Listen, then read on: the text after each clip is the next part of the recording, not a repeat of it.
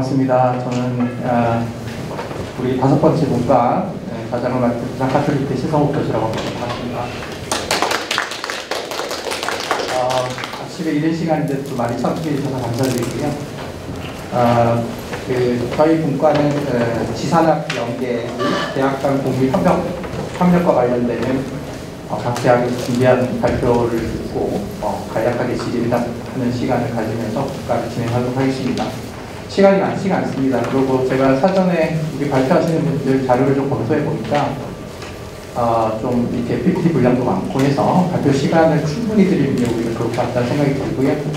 저희가 다른 국가하고 달리 그 여섯 개가 아니라 다섯 개를 발표를 합니다. 그래서 어, 다른 섹션에 비해서 한 20분 정도 시간이 좀 남을 것 같아요. 그래서 혹시나 이제 발표하신 분들에게 질의하실 내용들은 그 20분의 시간과 이후에 이어지는 폐막식 전에 그 시간에 개별적으로 좀 질문하시는 걸로 하고 어, 저희 섹션 진행은 발표자분들께 충분한 발표 시간을 드리는 걸로 해서 진행을 하도록 하겠습니다. 제가 어, 발표하실 때 한 3분 정도 남았을 때 20분 충분히 드릴 거고요. 한, 한 3분 정도 남았을 때 제가 좀 약간의 사인을 드리겠습니다. 시간 좀 지켜주시고 그렇게 진행을 하도록 하겠습니다. 저희 세션의 주제는 사실은 거치 산학 연계 및 대학 간 공유 협력과 관련된 분야인데 어, 사실은 뭐 우리 일주기 그 대학 혁신 사업부터 해서 지금까지 일주기 진행된 혁신 사업에서 앞으로도 이제 점점점 대학 간 혹은 뭐 산학 혹은 어, 관과의 협력과 공유와 협력은 굉장히 중요합니다. 우리 혁신사업뿐만 아니라 지금 뭐 대학 간 혹은 산업체와의 어떤 공유 협력은 우리 그 혁신사업뿐만 아니라 대학이 지금 여러 가지 문제 직면하고 있는 대학의 앞으로의 미래의 어떤 나아갈 방향이라고 생각을 하고요. 어, 뭐 우리 혁신사업뿐만 아니라 뭐 잘 아시겠지만 뭐 멘트 사업이라든지 뭐 등등등의 대학 지원 사업에서도 대학 간 혹은 산업체 혹은 기관과의 공유 협력과 관련되는 부분을 굉장히 많이 강조를 하고 있습니다. 그래서 오늘 발표하시는 다섯 개 대학의 이 사례들은 어떻게 보면 조금 이런 어떤 협력, 공유 협력에 있어서 좀, 좀 이렇게 우수 사례 혹은 또 선도 모델이 되지 않을까라고 생각을 하고요. 일단은 발표하시는 분들께 충분한 시간을 드리는 걸로 해서 좀 시작을 이렇게 가름하도록 하겠습니다. 오늘 첫 번째 발표할 분은요, 어, 대구대학교 대학혁신사업 추진팀장으로 계신 조용국 선생님께서 발표해 주실 거고요. 네, 발표 주제는 재활보건복지 공동교육 네트워크 준비 운영과 관련되는 부분입니다. 제가 발표자를 검토하니까 저희 대학과도 같이 이렇게 하시는 걸로 봐서 제 관심 있게 많이 봤는데 발표 부탁드리겠습니다.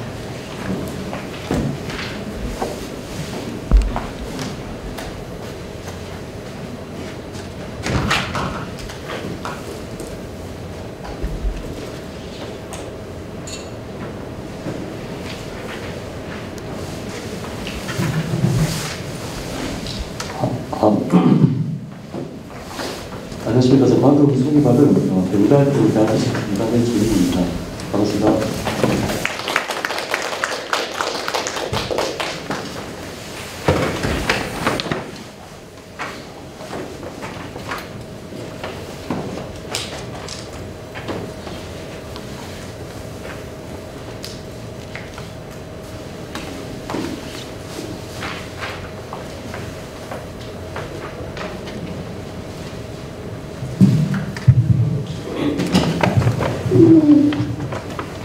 네, 제가 이제 주코드에서 같이 발표하겠습니다. 아, 제가 발표할 내용은 네, 그 저희 좌장 그 교수님께서 그 예, 소개시켜 주신 대로 어, 대학과 공유 협력과 이제 관련한 그 지산학들 여러 가지 이제 그 협력들인데요. 그 주제들 중에 저희는 그 대학과 예, 공유 협력, 대학끼리의 공유 협력과 관련된 그 관련된 내용을 가져왔습니다. 아, 저희 그 일주기 대학협력 그 대학혁신 지원 사업의 주제가 저희 그뭐 자율적 혁신 그리고 성과 공유 확산 그리고 뭐 이런 것 통해서 미래 이제 양식 구축 체제를 구축하라 그 중에 이제 물론 이제 코로나 19뭐 이제 관련돼서 학생 심리에 있어서 이런 쪽으로 어, 굉장히 그 포커스가 있었습니다. 그 내주기 기술지원 사업에서는 어, 교육부 대학 요구 사항이 그 자율성, 뭐 공공성, 생물성 그리고 적정 규모라는 게 굉장히 크게 들어갔고요. 어, 그리고 직접 핵심을 이제 또 추구를 하라. 그리고 사회적 가치 어, 기획을 하라. 또 그 중에 또 하나가 대학끼리의 또 물적, 인적 교육을 이제 추구한 부분이 굉장히 좀 차이가 나는 것 같습니다. 어, 저희 대학에서 이제 이런 내용들을 어, 또 여러 가지 요구 사항들을 많이 고민을 했고요. 또 그 중에 저희들이 이제 대학과 공유 협력과 관련된 어, 그 사업을 추진하는 과정에서 이제 단순한 이런 요구 사항들을 어, 그냥 이제 캐치프레이즈를만 보지 말고 어, 대학 담당자들이 실제적으로 어떤 도움이 될 만한 어, 그런 부분들이 어떤 게 있을까 고민하다가 이 프로그램을 개발하게 됐다고 예, 말씀드리겠습니다. 네, 이그첫 번째 요 저희들 나오는 이 책에도는요 그냥 큰 어젠다라고 보시, 그 봐주시고 네, 넘어가시면 될 것 같습니다. 네, 저 다음은 그 오늘 발표하게 된 그 재활보건복지 네트워크 그 등장 배경입니다. 어, 저희 PK는 뭐 대학 간 협업 공감 등이 필요해서 어, 다 함께 뜻을 모았다라고 이렇게 되어 있는데요. 아, 저희 실제 네트워크 결성 그 이유는 한 두 가지 정도 말씀드릴 수 있을 것 같습니다.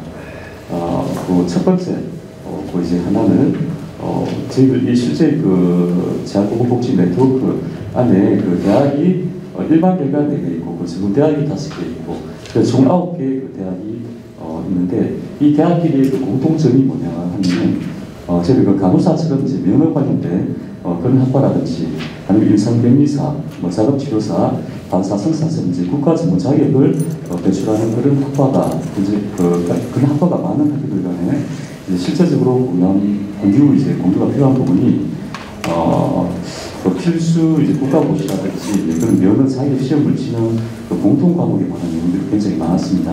그 학교마다 이제 그 모든 학과의 그 어, 가르치시는 그 교원들이 그 세부 성분들로 다 갖추지는 못합니다.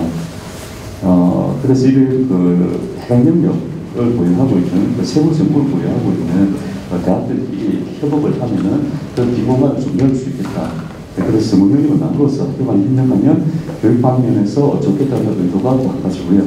그또 다른 한 가지는 저희들 그 전국뿐 아니라 네, 교양도 같이 이제 하자는 의도가 있었습니다. 어, 저희들 재활 보건복지 이 주제로 보면은 어, 실제로 그 학생들이 학생들이 졸업하고 가는 곳이 그 사회복지관이나 이제 요양시설이나 일반 병원들, 뭐 종합병원, 대학병원들, 어, 전문재활병원들 이렇게 환자는 이제 1대1로 만나는 경우가 굉장히 많습니다. 어, 저희 작년에 이제 이- 이태원 공연 파티 때 실제로 이제 굉장히 큰, 어, 그 희생자들이 많이 나죠. 20대 이제 어린이들 아쉬운 그런 어, 상황들이 많았는데요. 아, 그때 실제로, 어, 그 심정지로 이제 들어온 환자를 한 간호사가 어, 그런 기격, 그 긴박한 상황에서 본인이 이제 촬영을 하고 본인 브이로그, 브이로그에 올려가지고 그런 부분들이 굉장히 큰 문제가 문제를 받을 수 있습니다. 아, 그래서 저희들이 이제 그 직업 영역, 그 사생활 이런 부분들이 어, 실제로 어, 구분이 없이 이렇게 막 나들고 그리고 개인정보만 막 드러나고 이런 부분들이 어, 가정, 과연 가정에서만 이제 이렇게 했어야 될 것인가. 물론 가정에서도 이제 뭐, 저희들 가정교육이라고 하고 있지만 그런 부분들을 학교에서도 이제 늘 이렇게 강조하고 어, 가르쳐야 되겠다는 그런 필요성이기 때문에 저희 인성교육 그리고 전공 둘 다 가르치자 해서 이렇게 네트워크를 만들게 됐습니다.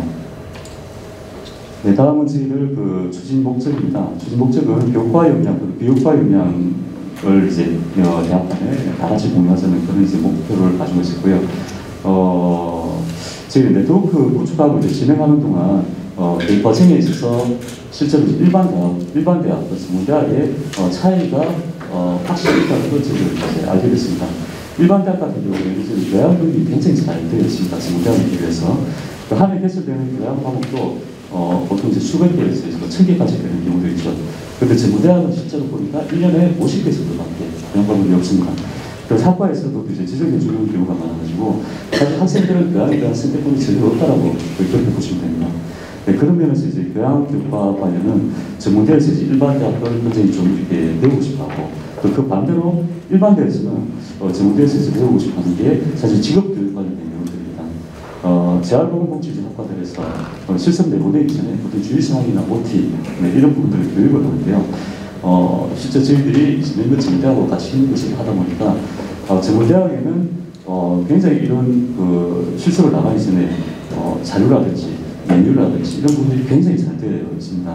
어, 전문대학에서 굉장히 뭐 두꺼운 그런 메뉴에 그 동영상 훈련 프로그램까지 다 작성을 해서 그 어, 네, 학생들에게 가기 전에 그런 걸다 교육을 하고 있더라고요.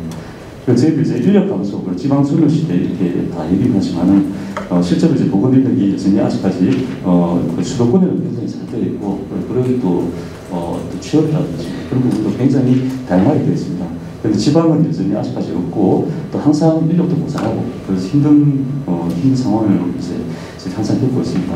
그 서비스 변사가 있어가지고 지역 내에서 이걸 잘 키워서 어, 이렇게 우리 인력들을 잘 키워서 우리 지역으로 한번 내보내보자 이런 소개 복지를 달성해보자 하는 것이 저희들 이제 큰 방향성이라고 말씀드릴 것 같습니다. 네, 다음은 저희 그 삼여 대학 현황입니다. 그 일반 대학이 이제 광주, 뭐, 그 광주여대, 그리고 부산 가톨릭대, 그리고 인제대학교, 그 전문대, 광주보건대, 대구보건대, 마산대, 그 진주보건대, 춘천보건대, 네, 이렇게 이제 그 이제 학, 학교들이 다 있고요. 어, 그리고 그, 그 학과를 보시면은 그 대부분 그 물리치료, 뭐 방사선, 보건행정 시기공 네, 이런 걸 이제 강조하는 대학들이 다 지금 공책다라고 보시면 될 것 같습니다. 제 권역은 이제 대경 강원권에서만 하기 좀 그래서 어, 네, 보시면은 여러 권역들이 다 함께 하자는 취지로 저희 부울경 그 전라권까지 이렇게 해서 어, 네, 아홉 개 대학이 네, 동표를 하고 있습니다. 네, 다음은 저희 네트워크 구축 과정, 그리고 진행 과정을 간단하게 이렇게 정리를 해봤는데요. 어, 저희들 작년 3월부터 해서 첫 번째 이제 킥오프 회의를 가졌습니다. 어, 지역방에 사실 이제 광주하고 이게 오시려면 뭐 3시간 정도 이렇게 걸리시기 때문에 거리 도입을 해가지고 어, 또 우선 또 학생가 다 다른 일반 데스 문대학간의 이제 공동 주제 그리고 공동 협력 방안에 대해서 어렴풋이 이렇게 방향을 잡아서 진행을 했는데 근데 딱히 첫 번째 회의라든지 그때도 딱히 뭘 어떻게 회의를 하자 어떤 주제로 회의를 하자 이런 부분들이 명확하게 쓰이진 않았습니다. 그래서 이제 중회의를 먼저 진행했고요. 그리고 중회의 1차, 2차 뭐 회의를 진행하고 그리고 3차 회의는 어, 저희들 이제 오프라인 회의로 어, 대구대학교에서 진행을 했었습니다. 아, 그, 지- 그 저희들 대구대학교에서 이제 어, 이렇게 회의를 중회의를 이제 대구대학교에서 이제 진행했고요. 어, 진행하다 보니까 어, 이제 뭐 대구대학교에서 회장기도 하시죠. 그래서 저희들이 회장기로 이렇게 맡아서 진행했고요. 아, 근데 저희들, 어, 학제가 다른 대학들이 진행하다 보니까 기존에 보통 대학 간 협력을 진행한다 그러면 4년제 대학들이 학제를 교류 이렇게 이제 하는 방식으로 많이 진행을 했는데 저희들 이제 필요한 부분들이나 아니면 학제가 있어서 어, 그 간단한 협약식 아니면 협약서 이렇게 냈고 그 진도가 굉장히 빨리 나갈 수 있었는데요. 근데 실제로 전문대학하고 일반대학하고 이렇게 협력을 시작하는 단계에서는 서로 필요한 부분이 굉장히 좀 많이 달랐습니다. 그리고 또 학교별 이제 우사도 달랐고요. 그리고 교과목 개발 비용이나 자잘하게 이렇게 어, 지원 학교에서 지원해주는 그 규모라든지 그리고 규정들이라든지 이런 부분들이 굉장히 좀 많이 차이가 났었습니다. 어, 그래서 이 조율을 하는데 어, 처음에 한 몇 달 동안 상당히 애를 먹었었습니다. 네, 그가 어쨌든 저희들 여러 이제 문제들 끝에 이제 공동의 필요 사항을 어쨌든 도출을 내고 그런 협약서 초안을 마련해서 이제 5월에 저희들 협약식을 어, 가졌고요. 네, 5월에 구축 협약식을 가졌고 그 이후에 6월에는 저희들 정기 총회도 이제 개최를 했었습니다. 어, 그리고 어, 1차년도 이제 공동교육 프로그램은 어, 우선 이제 접근하기가 좀 쉬운 비교과 프로그램으로 여러 방학 중에 이제 한번 해보자라고 이제 그런 계획을 세웠습니다. 그리고 저희들 그 8월에는 이제 네트워크 대학들 이제 대부분이 참여 가운데 비교과 공동 프로그램은 저희 여수에서 진행했었습니다.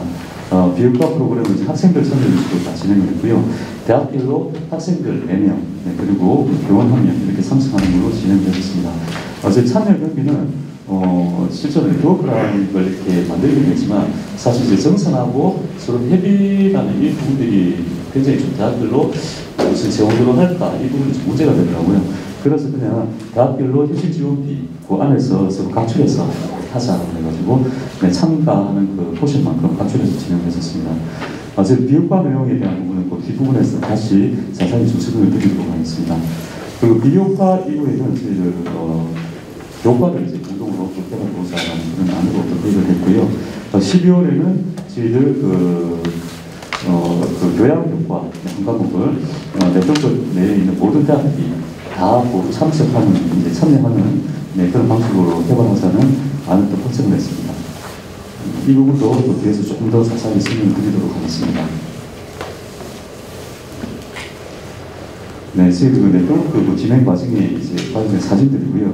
어, 저희들 업무를 이렇게 진행하면서 사실 한 대학에서 계속 이렇게 회의를 하고 또 이렇게 뭐 이렇게 막 진행을 하고 또 의견을 수합을 하고 이런 부분들이 좀 굉장히 좀 로드가 들고 좀 힘이 들더라고요. 네, 그래서 또 그리고 또 이제 회의를 하다 보면 그렇게 이제 주관하는 대학, 추천하는 대학의 입김이, 이- 어, 그, 그 대학의 의견이 또 너무 크게 이렇게 많이 되는 그런 부분들도 좀 있었고요.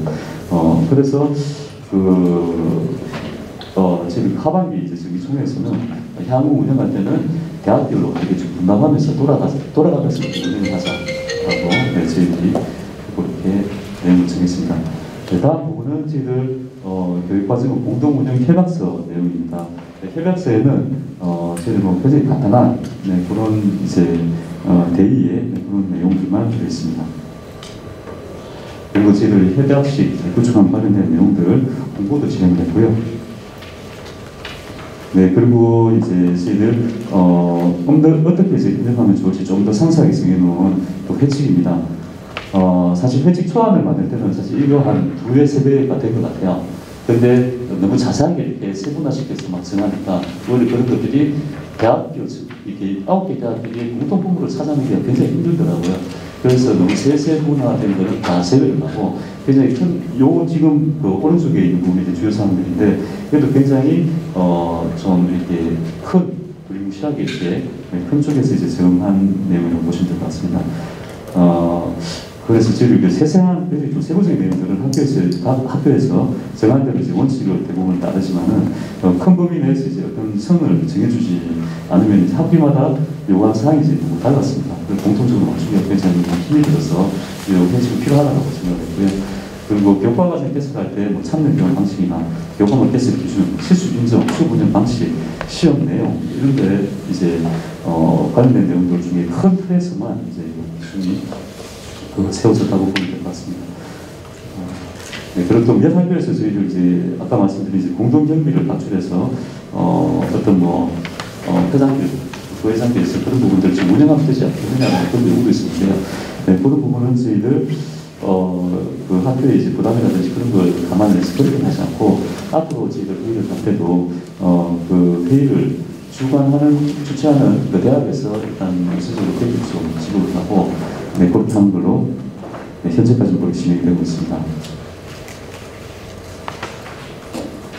네, 이 부분은 저희가 앞서 간단하게 그 진행 과정에서 이제 그 설명을 드렸던 그 비교과 어, 교육 과정 공동 운영에 대한 부분들입니다. 어, 저희 ESG가 이제 작년부터 화두가 좀 그 화두가 되었죠. 그래서 저희들은 어, 대경 강원코 TBS에서도 저희 ESG 관련된 그런 이제 공모전을 진행하기도 했었고요. 어, 그리고 우리 네트워크에서 이제 진행한 내용은 그 학생들과 예수로 가서 저희들 이제 휠체어 시설을 이제 빌려서 이제 그 운영을 했고요.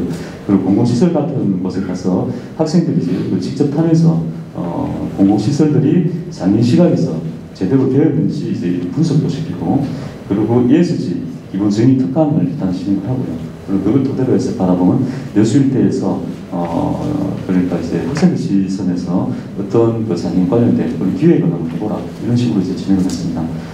어 그 한 학교에서 이제 뭐네 명씩 이렇게 보통 이제 학생들이 갔으니까 같은 반 친구끼리는 서로 이렇게 좀 어울리기가 쉽죠. 네, 그런데 이제 타대학 학생들하고 같이 이제 모여서 이제 다 같이 모이다 보니까 어, 저희들 같은 조를 이제 조를 짤 때 같은 학교 학생들끼리 이렇게 조를 짤까 어, 서로 섞- 섞을까 이렇게 고민을 하다가 실제로 저희들이 이제 교육과 프로그램 요 운영할 때는 어, 프로그램 본래 이제 목적을 달성하려면 서로 이제 다 섞어버려야겠다. 네, 그런 이제 그렇게 결정을 하고 어, 랜덤으로 완전히 다 섞었습니다.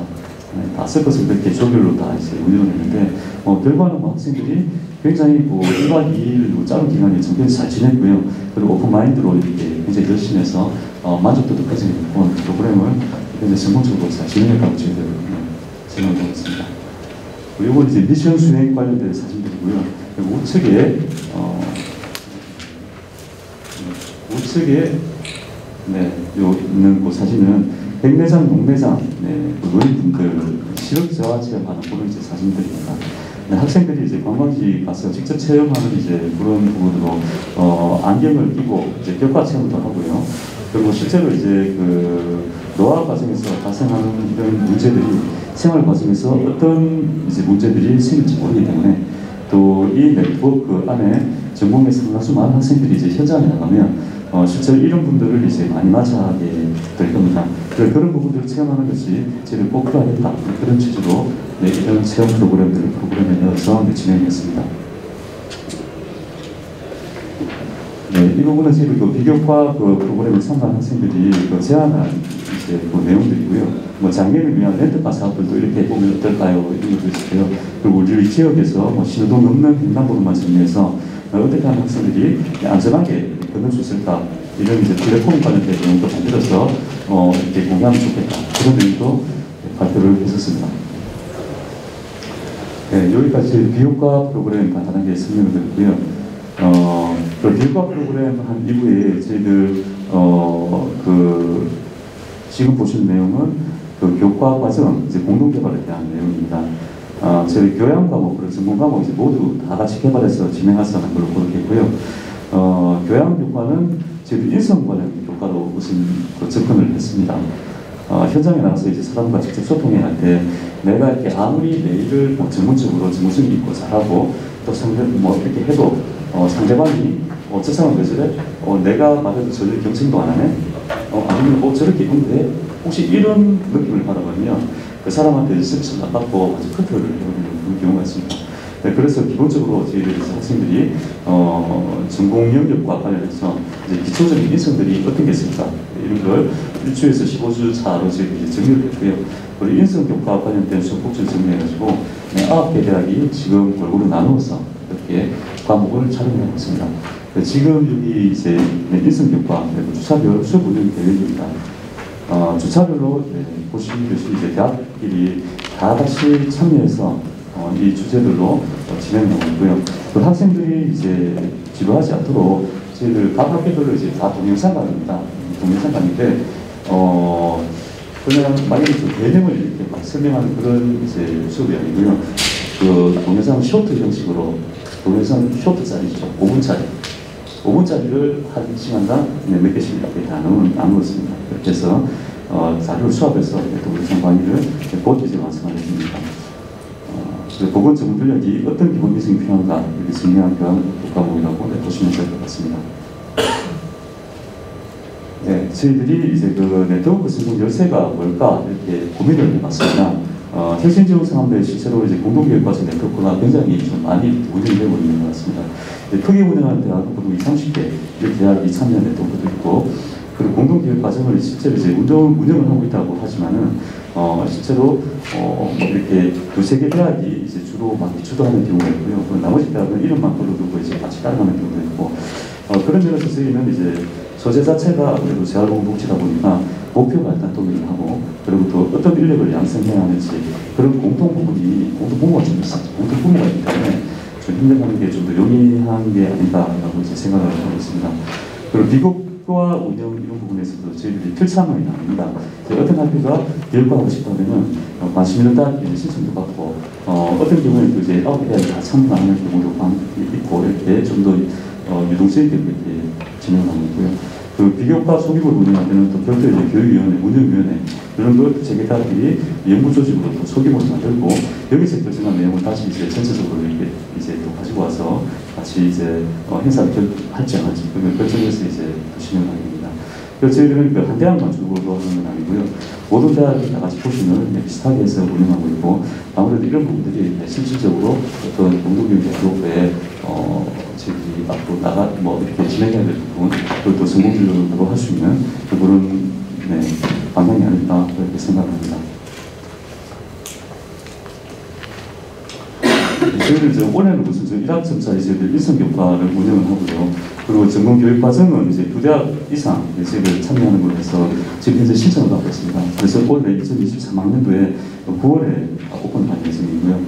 어, 저희들 이후에는 이제 성과 확산도 필요할 것 같아서 어, 그 대면 활동을 좀 더 하고 비효과 활동을 어, 또, 또, 또 이렇게 많이 진행을 해보려고 그렇게 준비를 하고 있습니다. 네, 이상으로 이제 그 준비한 미팅을 마치도록 하겠습니다. 고맙습니다.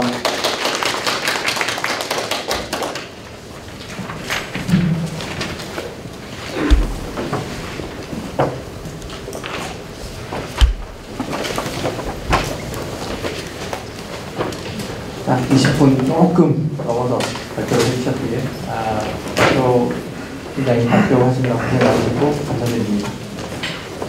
어, 아까 서두에 말씀드렸지만 일단은 뭐 발표 시간을 충분히 드리고자 질의응답 시간을 별도로 갖지 않겠습니다. 그래서 발표하신 내용에 대해서 궁금하시거나 또 질의하실 내용 있으시면 이 섹션 마치고 난 다음에 개별적으로 질문을 해주셨으면 좋겠습니다. 이어지는 네, 발표는요, 우리 백수학대학교 지역혁신센터 소장님이신 김혜경 소장님께서 발표해 주실 건데요. 제목이 굉장히 깁니다. 네, 그 관산학 어, 다월 연계형 융복합 혁신 비교과 프로그램 고도화 플랫폼 지역혁신센터 설치 운영 사례 굉장히 긴데요. 어쨌든 궁금하기도 합니다. 제목이 길어서 네, 모시고 발표 들어보도록 하겠습니다.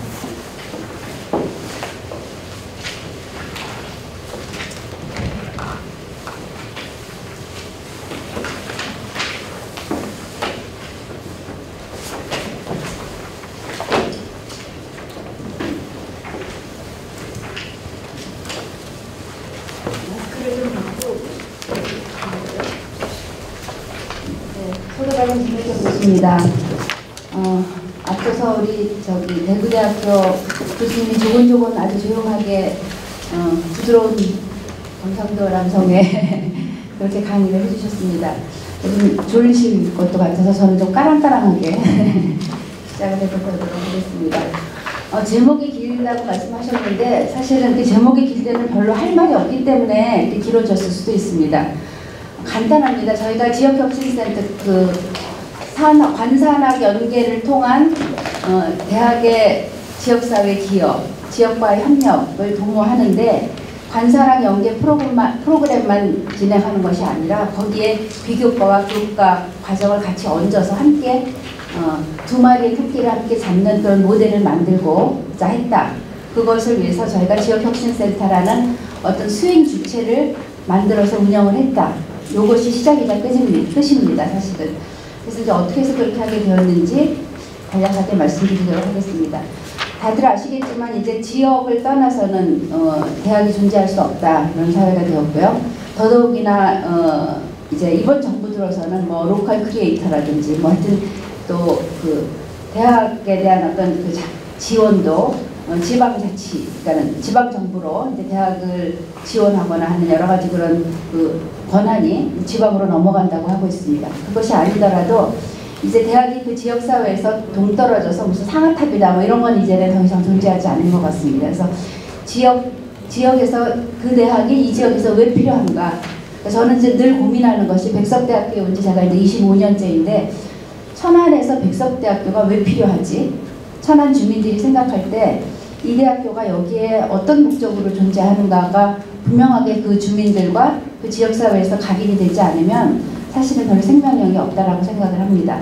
어, 그런 점에서 봤을 때 어, 대학이 지역과의 어떤 접점이라고 한다면 산학협력단을 통해서 뭐 연구라든지 여러 가지 다양한 사업체들을 운영하기도 하고 그 다음에 이제 이전 정부 때나 지금도 그렇지만 링크 사업단이나 이런 규모가 큰 대학, 대학들은 다양한 링크 사업들을 통해서 특히 지역사회, 지역사회의 어떤 접점 이런 것들을 아, 만들어 나가고 있죠. 아니면은 그냥 단순히 봉사 와 지역사회 어떤 뭐 기업 이런 측면에서 이제 사회봉사단이나 봉사센터를 통해서 연계하고 있거나 아니면 이제 과목 학부의 어떤 특성상 사회복지학부라든지 특성상 이제 교수님들이 각계 전투로 지역과 어떤 여러 가지 연구나 교육 과정들을 이끌어 나가는 그런 네 가지 출구일 것 같습니다. 근데 학교 규모에 따라서 링크 사업자는 학교에서 제도적으로 체계적으로 뭔가를 이루어주지 않으면 사실 그 부분들이 상당히 좀 열악할 수밖에 없는 그런 상황이 있습니다. 그래서 저희 대학도 어, 링크 사업 링크 사업이 그렇게 이제 지역 지역의 링크 사업에서는 어떤 예산의 일부분을 지역과 함께 협력해라라는 그런 포지션이 있으니까 그것들을 이제 강제든 반강제든 자발적이든 하게 되는데 그렇지 않은 경우에는 굉장히 그 부분이 소외되고 산학협력단을 통해서 지역에 있는 돈들을 앵벌이로 벌어들이는 근데 이런 것들은 열심히 하지만 지역 학교의 그, 관- 그 지적 물적인 인프라를 지역에 기여하는 것은 상당히 소홀하게 되고 또 living lab이라든지 이런 것들도 굉장히 주도하는 주관하는 부서들이 없다 보면은 어, 사실 굉장히 교육을 하기가 어렵기 때문에 교수님들이 하기가 어, 할- 좀 외면하기가 쉽죠. 그래서 어, 저는 이제 지역에 첫 번째 지역 혁신센터를 만든 목적은 이제 대학이 지역의 이제 공공 중요한 공공가치 자원이다라는 것이고요. 어, 이런 것들을 공공자재로서의 대학이 어떤 역량을 발휘하기 위해서는 그것들을 선도할 책임 있는 조직이나 어떤 그런 체제 구축이 필요하다라는 것이고 모두에 말씀드린 것처럼 그런 체제 구축을 통해서 이런 대학이 어, 캠퍼스 안에 교육을 넘어서 이런 지역과 업잡혀 여러 가지 일들을 하는데 그것들을 교육의 효과로 좀 교육의 영역으로 같이 끌어들이자라는 취지에서 어, 만들었습니다. 그래서 어, 지역사회 참여, 뭐 비전은 다 설명을 드, 드리, 드렸고요. 그 다음에 이제 목적은 대학의 지역사회, 지역 혁- 선도할 어떤 그런 지역 혁신 강화가 이제 목적이다. 그래서 그것을 위해서 세 가지인데 하나는 네트워킹 확대 강화이고요. 두 번째는 지역과 함께 프로그램을 개발하거나 지역에서 하는 여러 가지 프로그램에 협력적으로 참여하거나 기여하는 방법. 그 다음에 그것들을 가지고 학교에서 여러 가지 교과나 비교과를 연계하는 방법이 세 가지 방법입니다.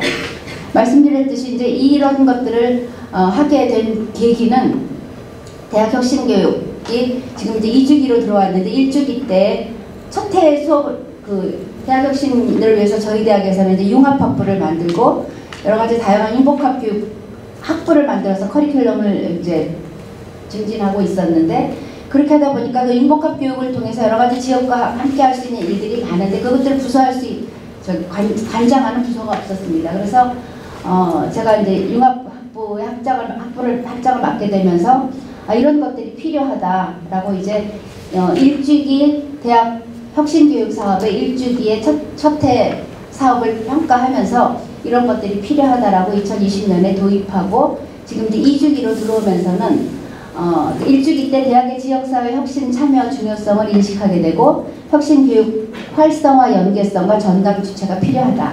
그래서 2주기, 1주기 한번 다 해보고 나니까 어, 굉장히 적은 예산을 들였음에도 불구, 불구하고 학교의 온갖 우수 사례를 만들어내는 중요한 어떤 역할을 했다는 거죠. 그래서 아, 이제 2주기 이후에는 어, 인복합 혁신을 통한 지역과 대학 교육, 교육 을 만들어가는 혁신 플랫폼으로 좀 도약할 필요가 있겠다라고 지금 생각을 하고 있습니다.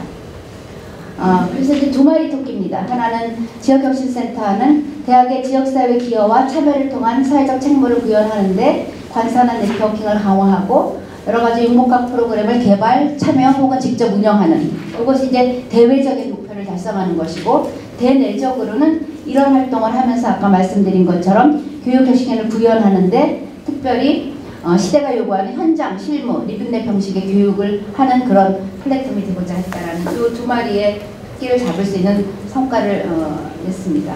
구체적으로 이제 잠깐씩 제가 푹푹 넘어가면서 그세 가지 성과인데요. 하나는 어, 첫 번째 말씀드린 대로 네트워킹 이런 일들을 하기 위해서는 네트워킹을 강화하고 거버넌스를 구축할 필요가 있습니다.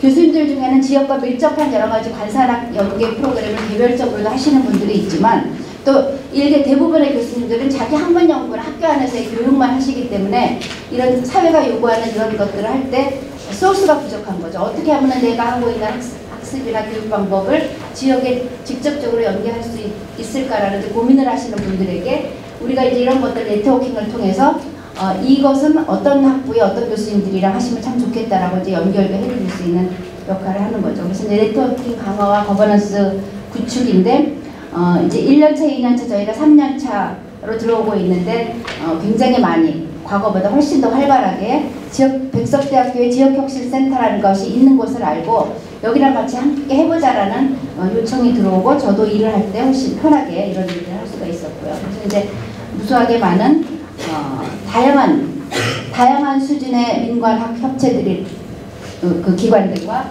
뭐 중간 지원 조직, 그 다음에 정부, 그 다음에 또 일반 산업체, 그 다음에 고등학교에 이르기까지 이런 그 네트워크를 맺었고요.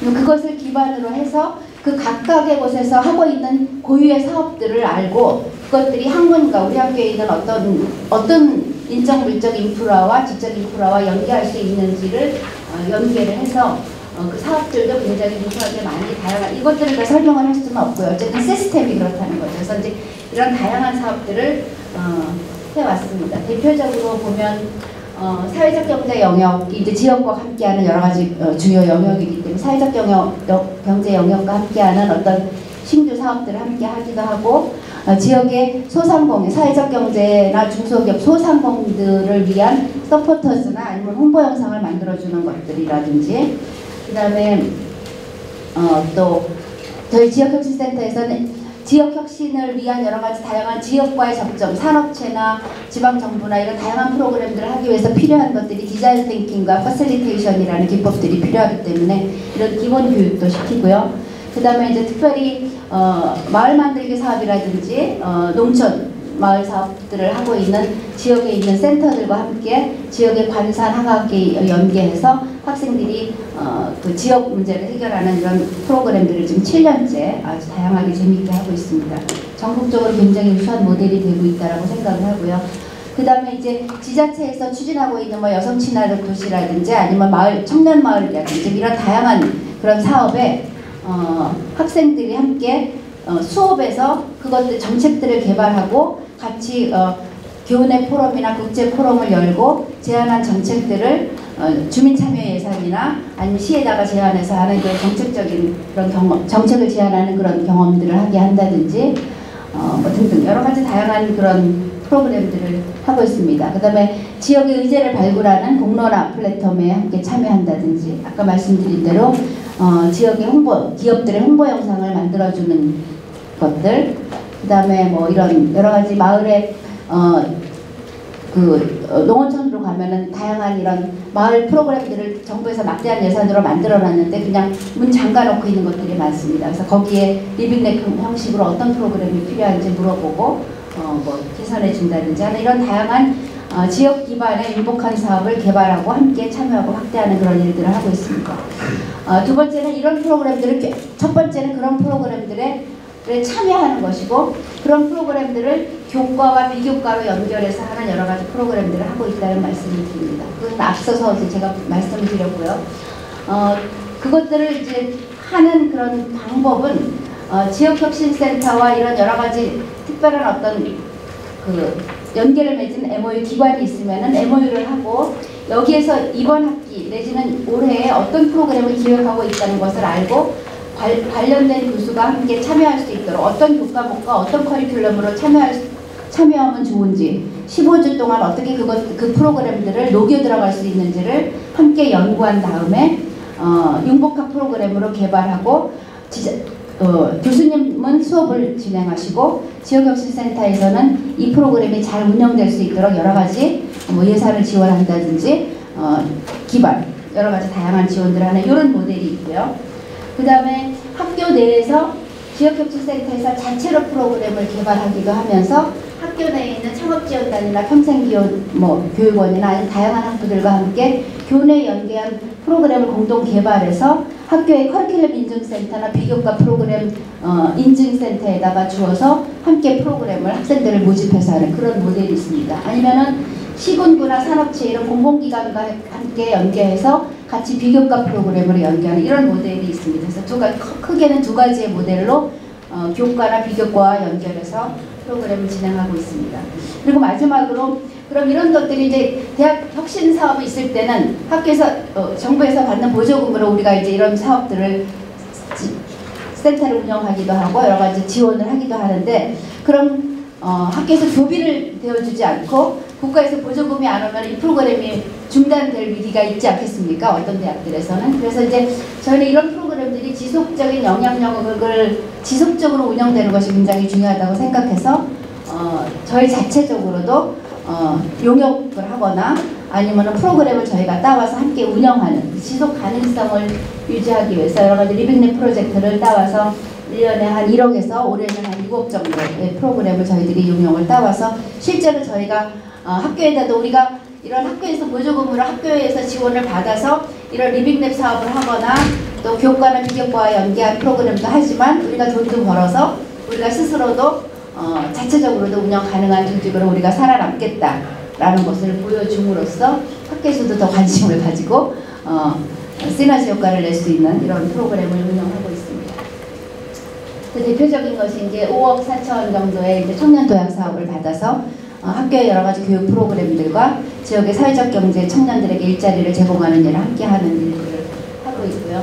특별히 이제 어, 또 젊은 교수님들을 좀 연구위원 교수님들로 어, 영입하고 도우면서 그분들이 하- 갖고 계시는 뭐 안전도시라든지 어, 여러 가지 다양한 어, 자기 고유 영역들을 이런 지역 혁신이나 지역 개발과 함께 할 수 있는 그런 교수님들을 많이 좀 참여시켜서 어, 이런 프로그램들 이 센터가 좀 더 활성화될 수 있도록 그래서 아까 말씀드린 그래서 이제 플랫폼화 될 수 있도록 하겠다라는 말씀입니다. 그래서 여기서 지역과 연계된 이런 여러 가지 프로그램들을 하다 보니까 학생들이 비교과 교과 프로그램들에 연, 어, 참여하면서 다양한 성과들을 냅니다. 그래서 학생들이 교과 비교과 프로그램을 통해서 낸 이런 성과들이 자기네들의 어, 개인적인 그 포트폴리오에 굉장히 도움이 되고 결국은 취업, 그러니까 취업에 엄청 난 도움을 주는 이제 그런 어, 아주 엄청난 성과를 낸다고 생각을 하고 있습니다. 그래서 결국은 성과는 이렇습니다. 최초의 설치 이후로 민간 산학 이런 네트워크를 전부 취재를 해서 지역사회의 신뢰를 구축할 수 있었다. 백석대학교는 지역혁신센터에다가 얘기하면 우리와 함께 협력해서 무엇인가를 도모할 수 있구나 라는 것을 좀 신뢰를 구축한 성과가 있고요. 그 다음에 living lab 방식으로 실천하는 어, 혁신교육의 플랫폼으로서 이제 백석대학이 충청남도에 천안 및 충청남도 백석대 인식을 제고하는 효과가 있었다라고 생각을 하고요. 이것들이 혁신교육, 학생들의 혁신교육 참여를 통한 교육 성과 혹은 교수나 학생들의 전문 역량을 지역사회에 공유하고 교류하는 기회가 되었습니다. 한 가지 사례만 마지막으로 말씀드리면 저는 이제 노인복지 전공 교수이고 인문사회학을 공부했는데 늘 어, 한 20여 년 넘게 학교에 있, 있으면서 어르신들에게 뭔가 어, 적절한 어, 화- 운동 운동 프로그램을 좀 어떤 그 운동이나 여가 프로그램을 개발하고 싶다라는 생각을 하고 있었는데 2년 동안 이제 코로나 지- 그, 그, 그 코비드 상황에서 어르신들이 경로당도 못 가고 뭐 움직이지 못하니까 근손, 근육 손실이 급속도로 일어나고 어, 건강이 굉장히 안 좋아진다라는 이제 시- 현장에서 요구들이 있었습니다. 그래서 어, 마을에 있는 어르신들이 뭔가 좋은 프로그램이 필요하다 할 때 저는 그분들을 위한 어떤 그 운동 앱이 필요하다고 생각했는데 저 혼자는 20년 동안 고민만 했었는데 이 저희 지역혁신센터에서 융복합 교육을 하다 보니까 IT 학부 교수님을 만나게 되고 또 생활치유 스포츠과학학과 교수님을 만나게 돼가지고 저희가 또 사회혁신센터에서 우리가 이런 걸 가지고 지역에서 이런 요구가 있다 어르신들에게도 운동 앱이 필요하다는 요구가 있다라는 것을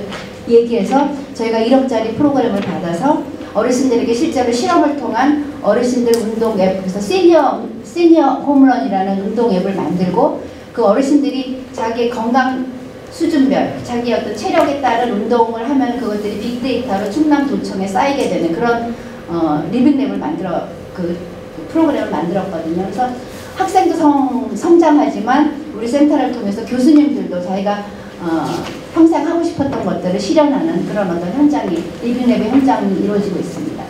그리고 이제 이런 이런 사업들을 성공적으로 수행함으로써 어, 지역 문제 해결을 위한 대학의 어, 이 의지와 역량을 지역사회에 알리- 알리고 협력적 관계- 관계로 발전하게 되는 그런 계기가 될 수 있었다 라는 것이고요. 대내적으로는 아, 아까 말씀드린 대로 이런 여러 가지 학생들의 교과 비교과를 통해서 학생들의 어, 다양한 역량들이 강화되고 성과를 어, 만들어낼 수 있었다라는 것이 저희 그 센터의 이제 성과가 되겠습니다. 향후 발전 계획은 앞으로도 지금 말씀드린 대로 좀 더 이것들을 다양화하고 더 많은 교수님들이 참여함으로써 어, 각각의 전공에 13개 전공에 이제 다양한 교수님들이 여기 안에서 시너지가 일어나고 지역의 다양한 사업들에 대한 정보를 공유함으로써 정말 플랫폼으로 거듭날 수 있도록 어, 하는 것이 목적이고요. 어, 좀 조금 더 이것들을 위해서 학교에서도 좀 전략적으로 재정이 지원된다면 좋겠다라는 바람을 갖고 있습니다. 지금 현재로는 상당히 이제 적은 예산으로 어, 그리고 아직 신생 조직이기 때문에 교수님들에게 아직 임- 홍보가 좀 덜 되어서 아 저기는 뭐 하는 곳인가라는 생각을 하고 있지만 오히려 교외에서도 많이 알고 있는 것 같습니다. 그래서 이제 앞으로 좀 더 교내적으로도 이런 것들을 홍보해야 되겠다. 그리고 어, 좀 더 효율적으로 어, 예산을 좀 사용하고 좀 더 증대됐으면 좋겠다는 생각을 하고 있습니다. 이상입니다.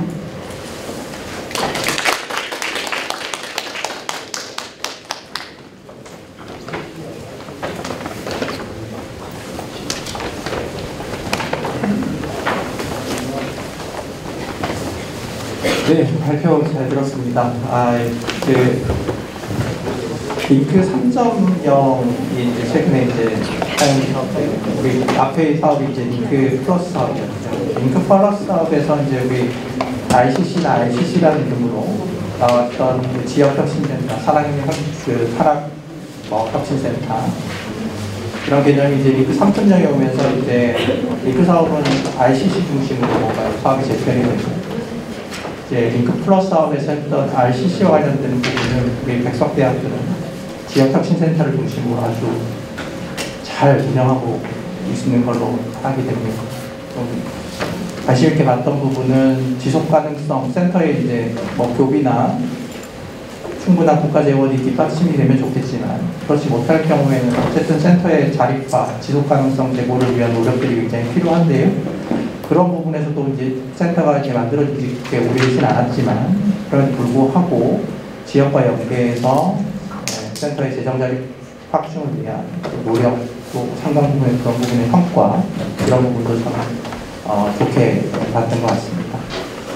발표 시간도 잘 지켜주셔서 감사드리고요. 어, 이어서 어, 우리 캡스톤 디자인의 이제 혁신적 맞춤형 교수법, 5대 교수법을 활용한 사례에 대해서 우리 나사렛대 대학혁신 지원 사업단 팀장님 계신 김태형 팀장님 발표 들어보도록 하겠습니다.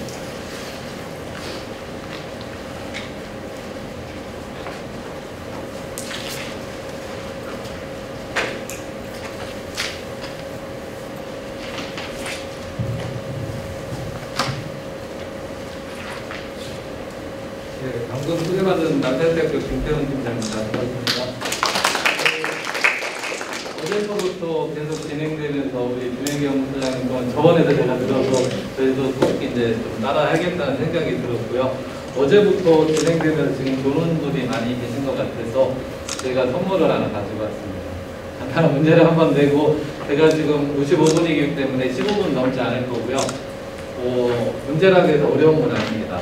제가 그 저희는 학교는 천안에 있고요. 같이 백석대학교와 같이 천안에 있고 집은 이제 대전인데 상당히 추웠는데 어제 비가 왔음에도 불구하고 여기는 따뜻하더라고요.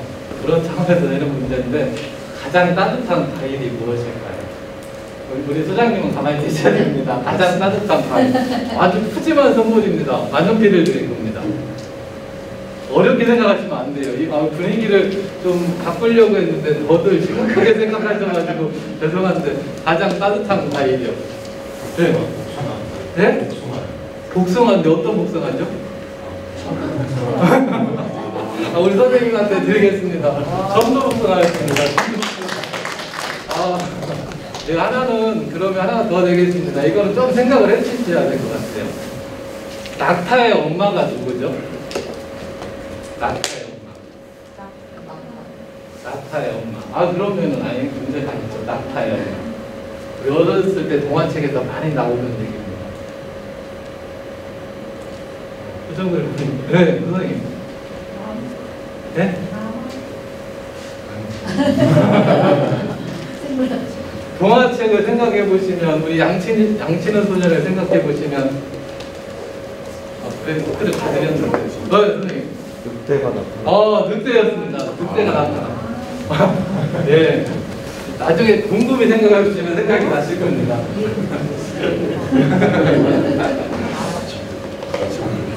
저희가 추진, 어, 죄송합니다.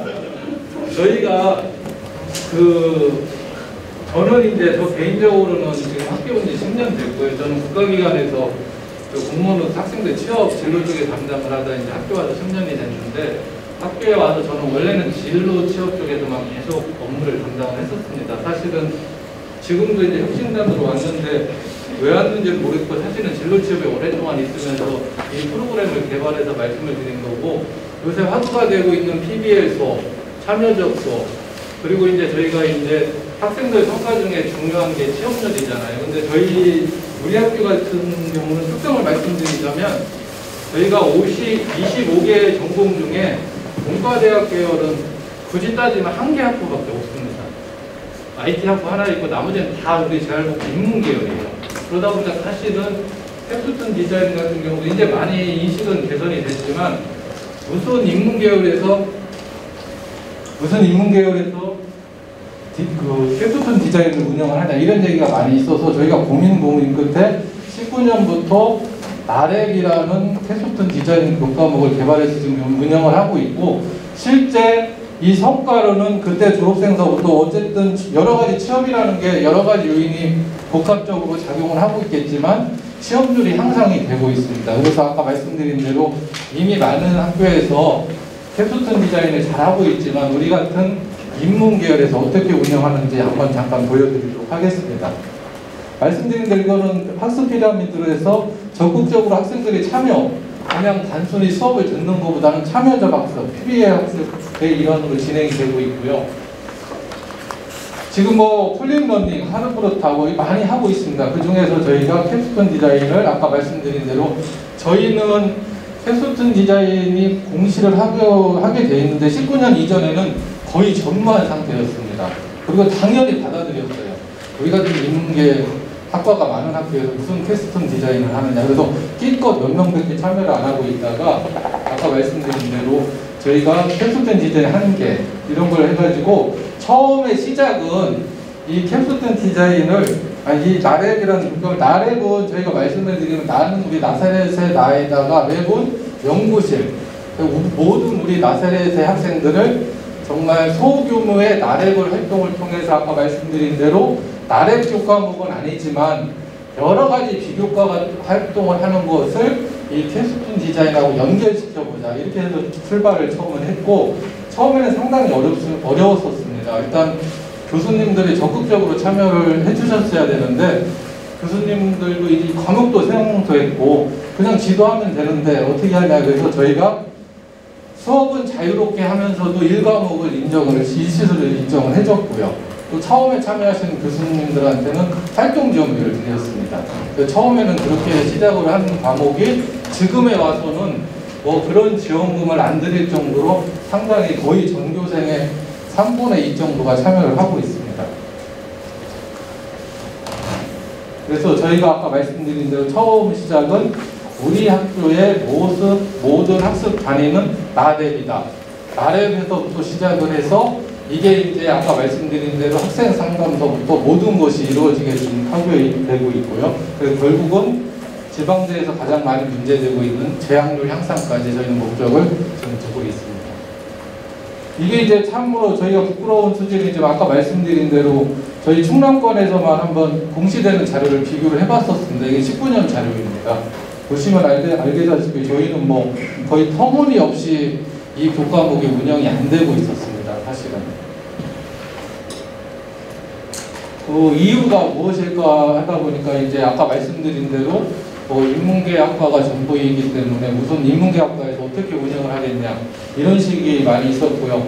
또한 뭐 텍스톤 디자인에 대한 그 예산 지원이 없었고 뭐 운영 체제도 미술이 되고 했는데 사실은 혁신 사업이 되면서 그 혁신 사업 운영비로 해서 학생들 활동비를 지원하다 보니까 상당히 활발하게 운영될 수 있었던 측면이 있었습니다. 그래 추진, 추진 내용을 보시면 아까 말씀드린 대로 모든 학과 교수는 학과의 그 lab 지도 교수가 되는 겁니다. 그리고 lab에는 어떻게 신청을 하냐면 저희가 1학년, 4학년 구분 없이 lab 1서부터 lab 8까지 각 학년이 신청을 하게 됩니다. 그래서 아까 말씀드린 대로 각 lab은 어, 어, 이렇게 진행이 되고 있습니다. 그래서 우리의 비전은 아까 말씀드린 모든 기본 교육단 lab이 되겠다. 랩에서 모든 학습 상담서부터 모든 것을 이루어지게 하게 목적인 거고요. 아까 랩에 소속돼서 1대1 상담이 이루어지게 되게 하고 있고 그 아까 말씀드린 대로 저희는 이제 대학원생이 아니라 학부생 중심의 PBL 특성화 대학을 저희 비전으로 해서 진행을 지금 하고 있습니다. 저희가 원래 캡스톤 디자인으로 인정을 받으려면 아까 말씀드린 대로 3, 4학년이 중심이 되고 있는데 저희는 현재는 3, 4학년 위주로 하는 교막, 교과목 같은 경우는 질의를 해서 지금 그 캡스톤 디자인 교과목으로 인증을 받아도 공시가 되고 있는데 사실은 랩 기초라고 해서 1, 2, 3학년 전부가 참여를 하고 있습니다. 제가 구체적인 방법에 대해서는 어, 좀 이따 그 설계되는 거는 다시 한번 말씀을 드리겠습니다. 그래서 아까 말씀드린 대로 한 명의 지도 교수와 1학년에서 4학년 학생들이 함께 소속이 되어 있습니다. 저희가 일부러 그 배치를 1학년 몇 명, 2학년 몇 명, 3학년 몇 명, 어떤 방식으로 하는지는 다시 한번 말씀을 드리겠습니다. 어, lab 기초 설계, lab 종합 설계라고 해가지고요. 1, 2학년, 3, 4학년. 뭐 이런 내용들은 그냥 한번 보시면 내용은 뭐 크게 어려움은 없을 것 같은데 구성을 위주로 한번 설명을 드리겠습니다.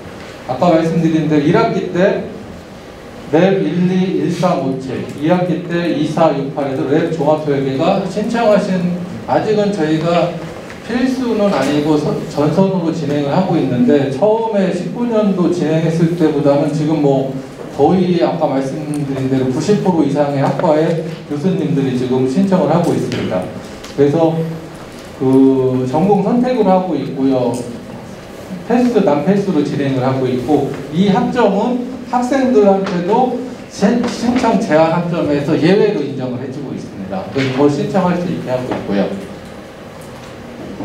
뭐 이렇게 진행이 되고 있습니다. 그리고 수업 형태도 아까 말씀드린 대로 저희가 처음에 이렇게 다음 장에서 말씀드리겠는데 랩이 구성이 되면 지도교수의 승인을 받은 학습 계획서를 저희한테 제출을 합니다. 그럼 여기서 중요하게 고정 수업이 아닙니다.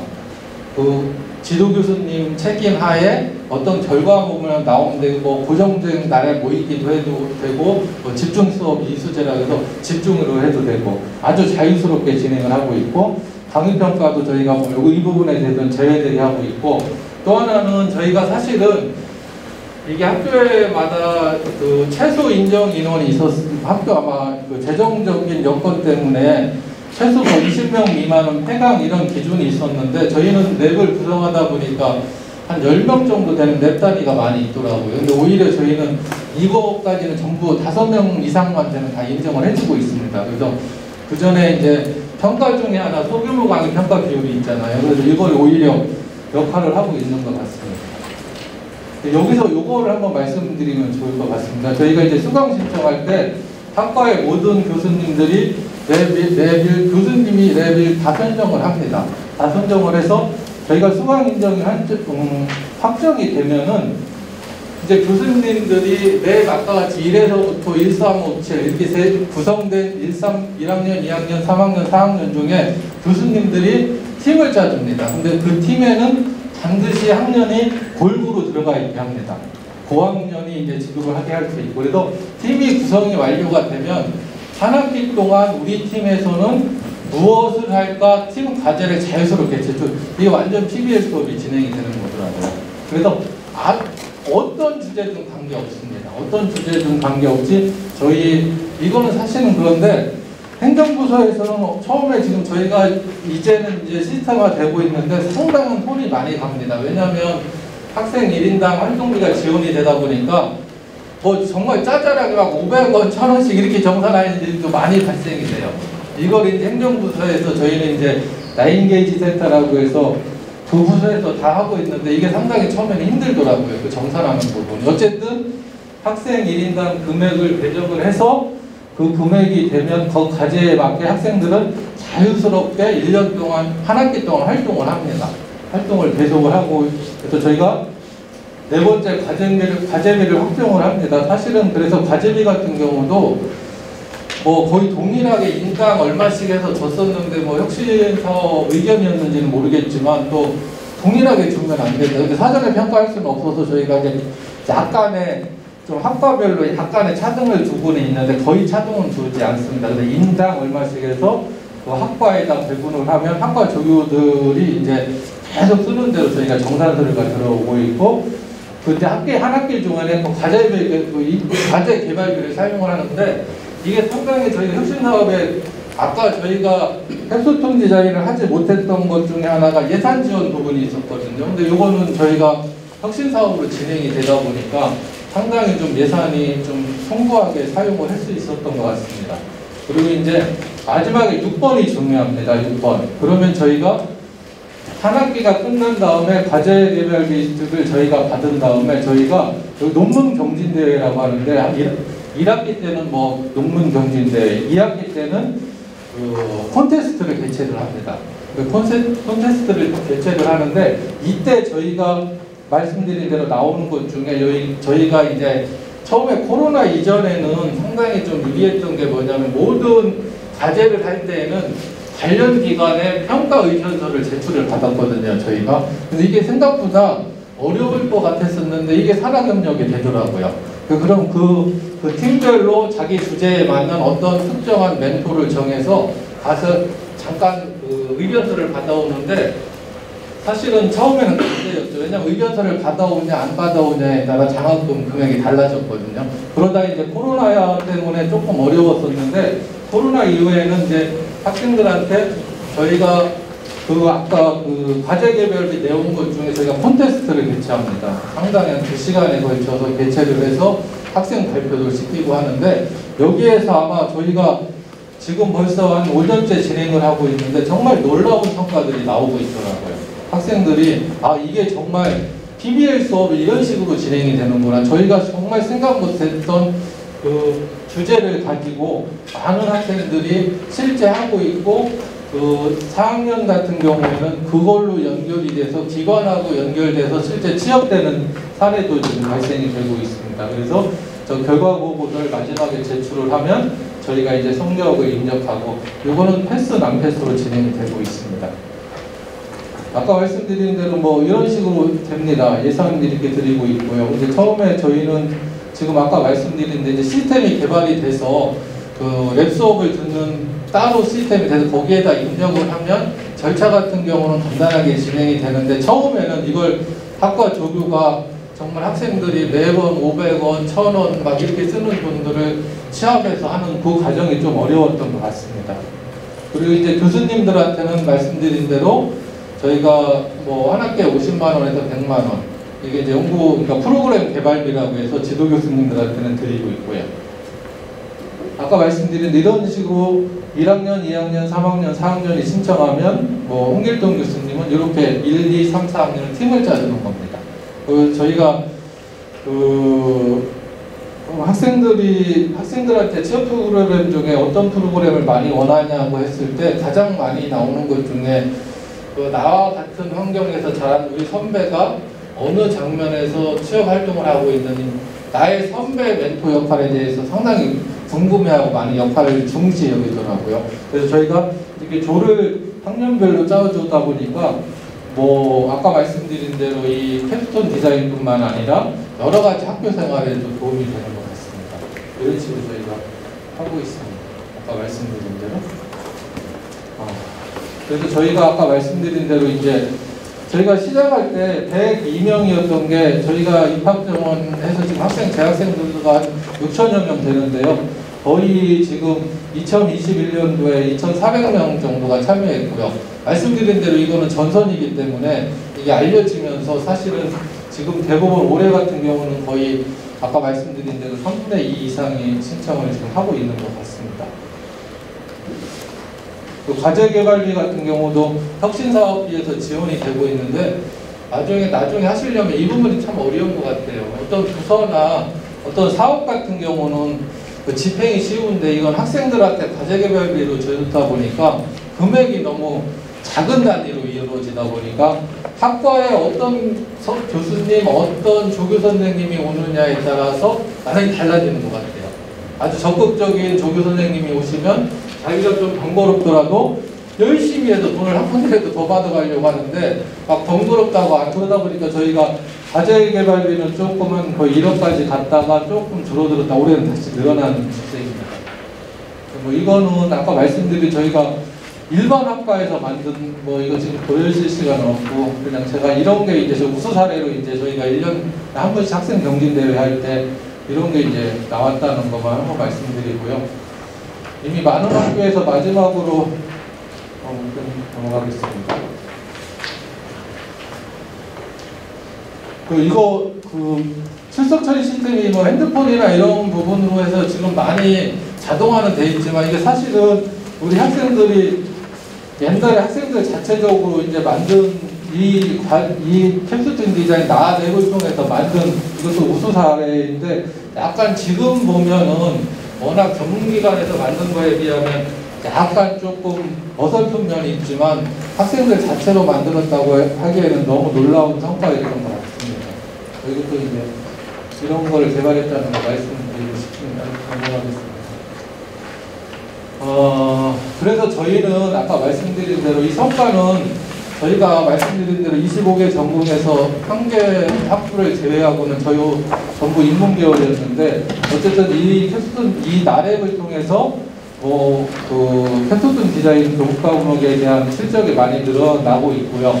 또 하나는 아까 말씀드린 대로 실제 이 첫 해 졸업생들 한 해부터 어쨌든 저희가 인문계열이 대부분 학기다 보니까 취업률이 상당히 비슷했는데 그 이후부터 어쨌든 취업률이 종합적으로 향상이 되고 있다고 말씀을 드리고 싶고 또 하나는 이제 마지막으로 아까 말씀드린 대로 또그 재학률 같은 경우 참여 의지 같은 경우는 상당히 좀 중요한데 이 나랩을 통해서 일반 종합 상담까지 이루어지기 때문에 상당히 이제 통합 지원 체제가 구축이 됐다고 말씀을 있겠습니다.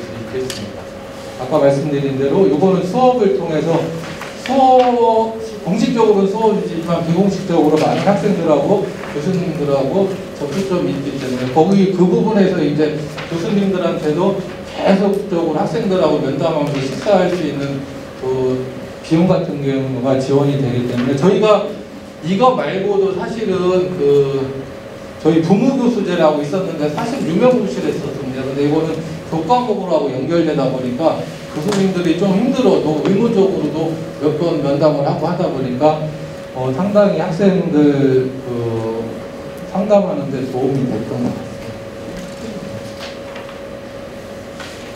예, 그 간단하게 아마 많은 학교에서 패스톤 디자인을 잘하고 계셨을 것 같은데 우리 학교 같은 경우는 아까 말씀드린 대로 우리 학교의 특성에 맞아가지고 계속하다 혁신 사업비 지원을 받아서 현재는 이 나랩을 통해서 모든 학생들이 매학기 패스톤 디자인 PBL 수업을 진행하고 있고 실제 성과로는 취업률 향상으로 이어지고 있다고 말씀을 드리고 싶습니다. 예, 이상입니다. 감사합니다. 사례라는 주제를 가지고요. 우리 광주대 교육과 교육 지원 센터장님이신 센터장님이시죠? 네. 우리 김유희 센터장님 모시고 발표 들어보도록 하겠습니다.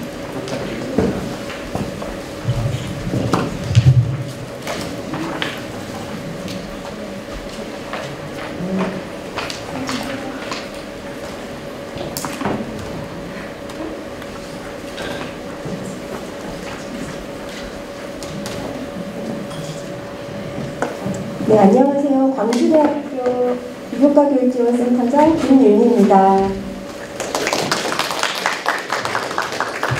오늘 네, 저희 광주대학교 지역사회 연계 비교과 프로그램 운영한 사례에 대해서 네, 말씀을 드리려고 합니다. 어, 교육부에서 2023년 기본 계획안을 발표한 것을 보면 이제 지방대학과 어, 그 지역 혁신 협, 협으로 그 조성하기 위해서 지자체와 대학 간의 협력이 매우 중요하다라고 밝히고 있습니다. 그래서 국고 3,540억을 지원하겠다고 예정이라고 밝히기도 했는데요. 그래서 목차는 다음과 같이 이제 광주대학교 비전과 전략, 그다음 대학 혁신 지원 사업단의 비전 및 전략, 그 다음에 비교과 프로그램 운영 사례를 네, 말씀드리도록 하겠습니다. 광주대학교는 2022년 8월에 지역과 함께 성장하는 혁신대학으로 도약하겠다라고 비전을 밝혔습니다. 그러면서 광주 전남의 경제 발전과 학생의 미래 도약을 위해 지역 산업체와 긴밀히 협조해 나가겠다라고 네, 비전을 밝혔습니다. 그래서 그 중장기 발전 계획 5대 전략을 세웠는데요. Learning, 어, Integration, Growth, Harmony, 테크놀로지로 5대 전략을 세워서 중장기 발전 계획을 실행에 옮기고 있습니다. 대학 혁신지원사업단의 비전을 보시면 그 광주대학교 그 혁신지원사업단에서는 지역사회와 함께 성장하는 혁신대학이 되겠다라고 목표를 세우고 이제 다양한 프로그램을 운영하고자 하고 있습니다. 그래서 어, 1차년도 2022년도에는 융합 전공 교육과정을 운영하고 2차년도에는 전공, 교양, 비교과 연계 운영 과정을 확대해 나가겠다. 그리고 3차년도에는 융합 전공을 더욱더 고도화해 나가겠다라는 네, 그 계획을 가지고 있습니다. 그래서 이제 지역사회와 연계를 하려면 일단 지역사회에 어떤 뭐 해결해야 하는 문제가 있는가, 우리 대학이 어떤 것들을 서로 도움을 주고받을 수 있는가에 대해서 알아봐야겠다는 생각을 했는데요.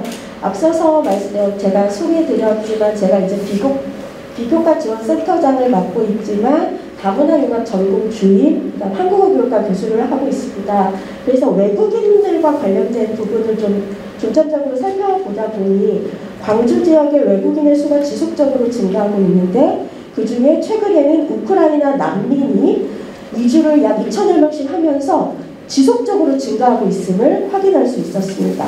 그래서 이제 광주대학교가 어, 뭐 여러 가지 다양한 융합 전공을 개설할 수 있겠지만 어, 다문화 사회 전문가 융합 전공을 그 법무부와 연계해서 그 다문화 그 사회 통합 프로그램을 운영할 수 있는 그 자격이 주어지는 수료증입니다. 그래서 이 부분을 이제 법무부와 연계해서 어, 다문화 사회 전문가 융합 전공을 개설하였습니다. 개설할 때넘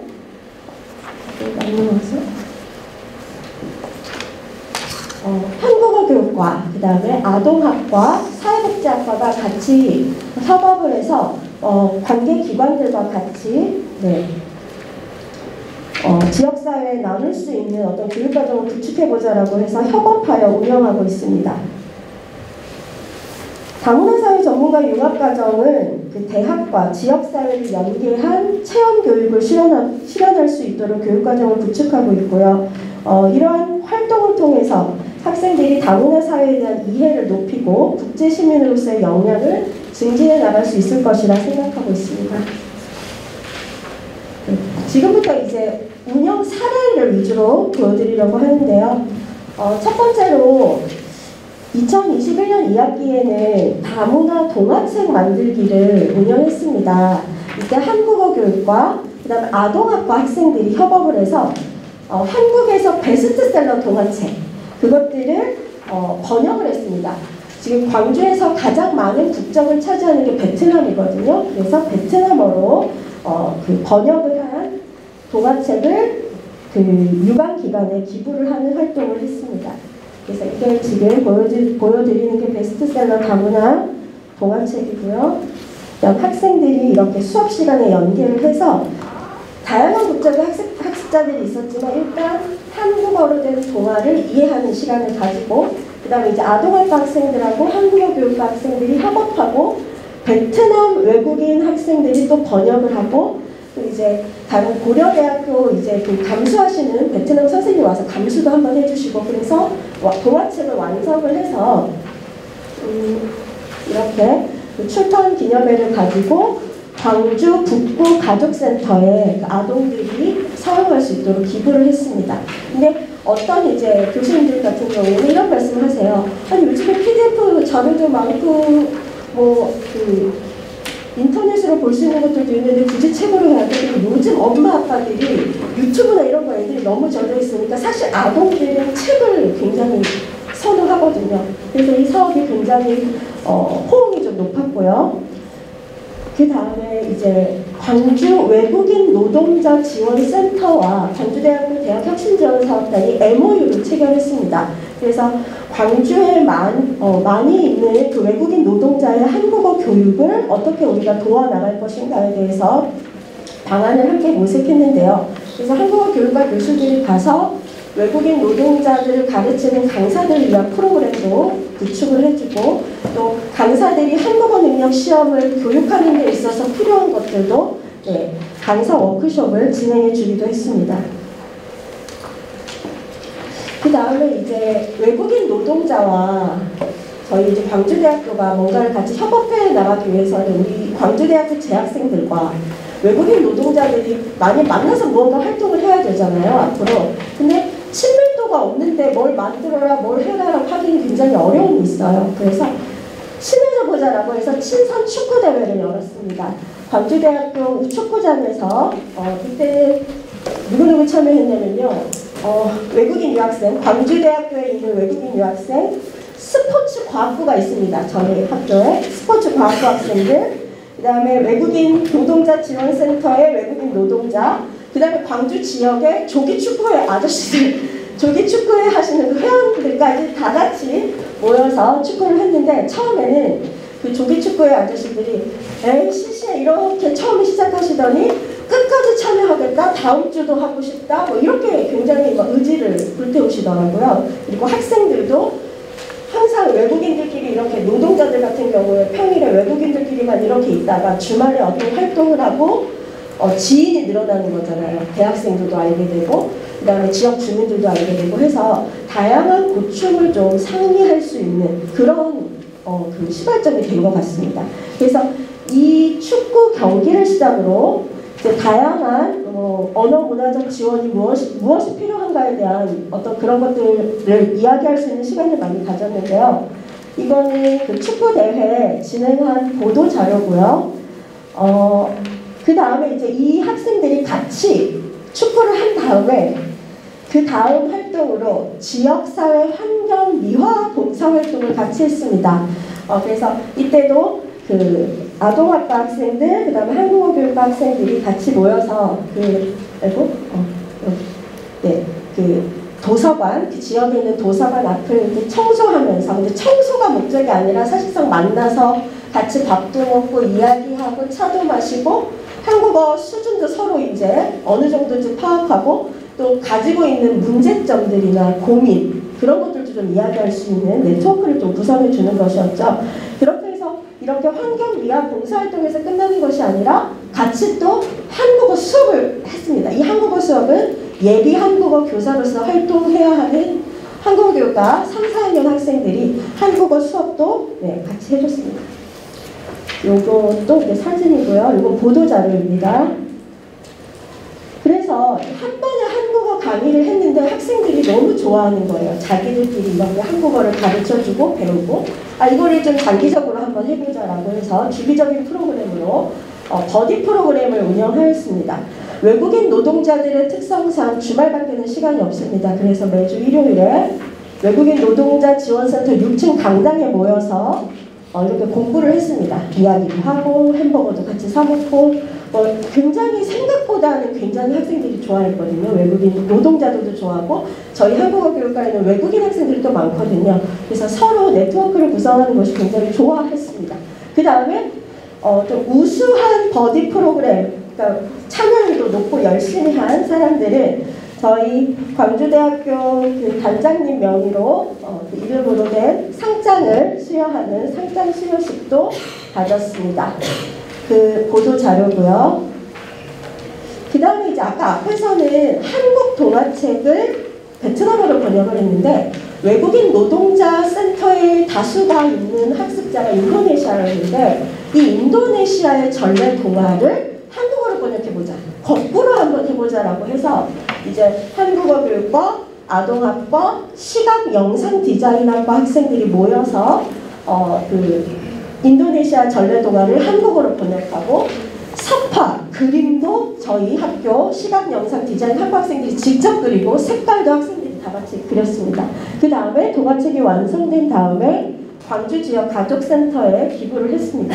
지금 보여드리는 화면이 바왕메라 바왕푸트인데요. 이게 한국어로 치면은 콩쥐팥쥐, 콩쥐팥쥐 이야기입니다. 그래서 어, 이렇게 그림도 이제 학생들이 직접 그린 거고요. 그래서 이렇게 학생들이 정말 좋아했던 거는 자신의 전공이 자신의 전공 학습이 지역사회의 어떤 봉사와 연계되고 나, 내가 어, 누군가에게 도움을 줄 수 있다는 것에 굉장히 큰 성취감을 가졌습니다. 보도 자료고요. 출판 기념회를 가지고 보도 자료가 나갔습니다.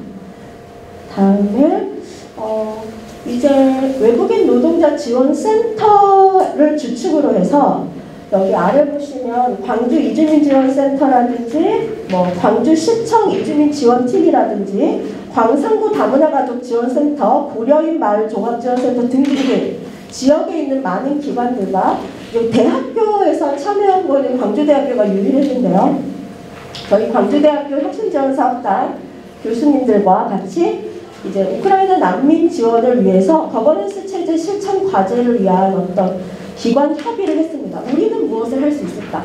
그래서 저희는 이제 대학 혁신지원사업단 쪽에서는 학생들을 참여하면서 하는 활동을 우리가 지원할 수 있다라고 이제 밝혔고요. 이거는 1차 회의가 끝났고 2차 회의도 이후에 이제 예정되어 있습니다.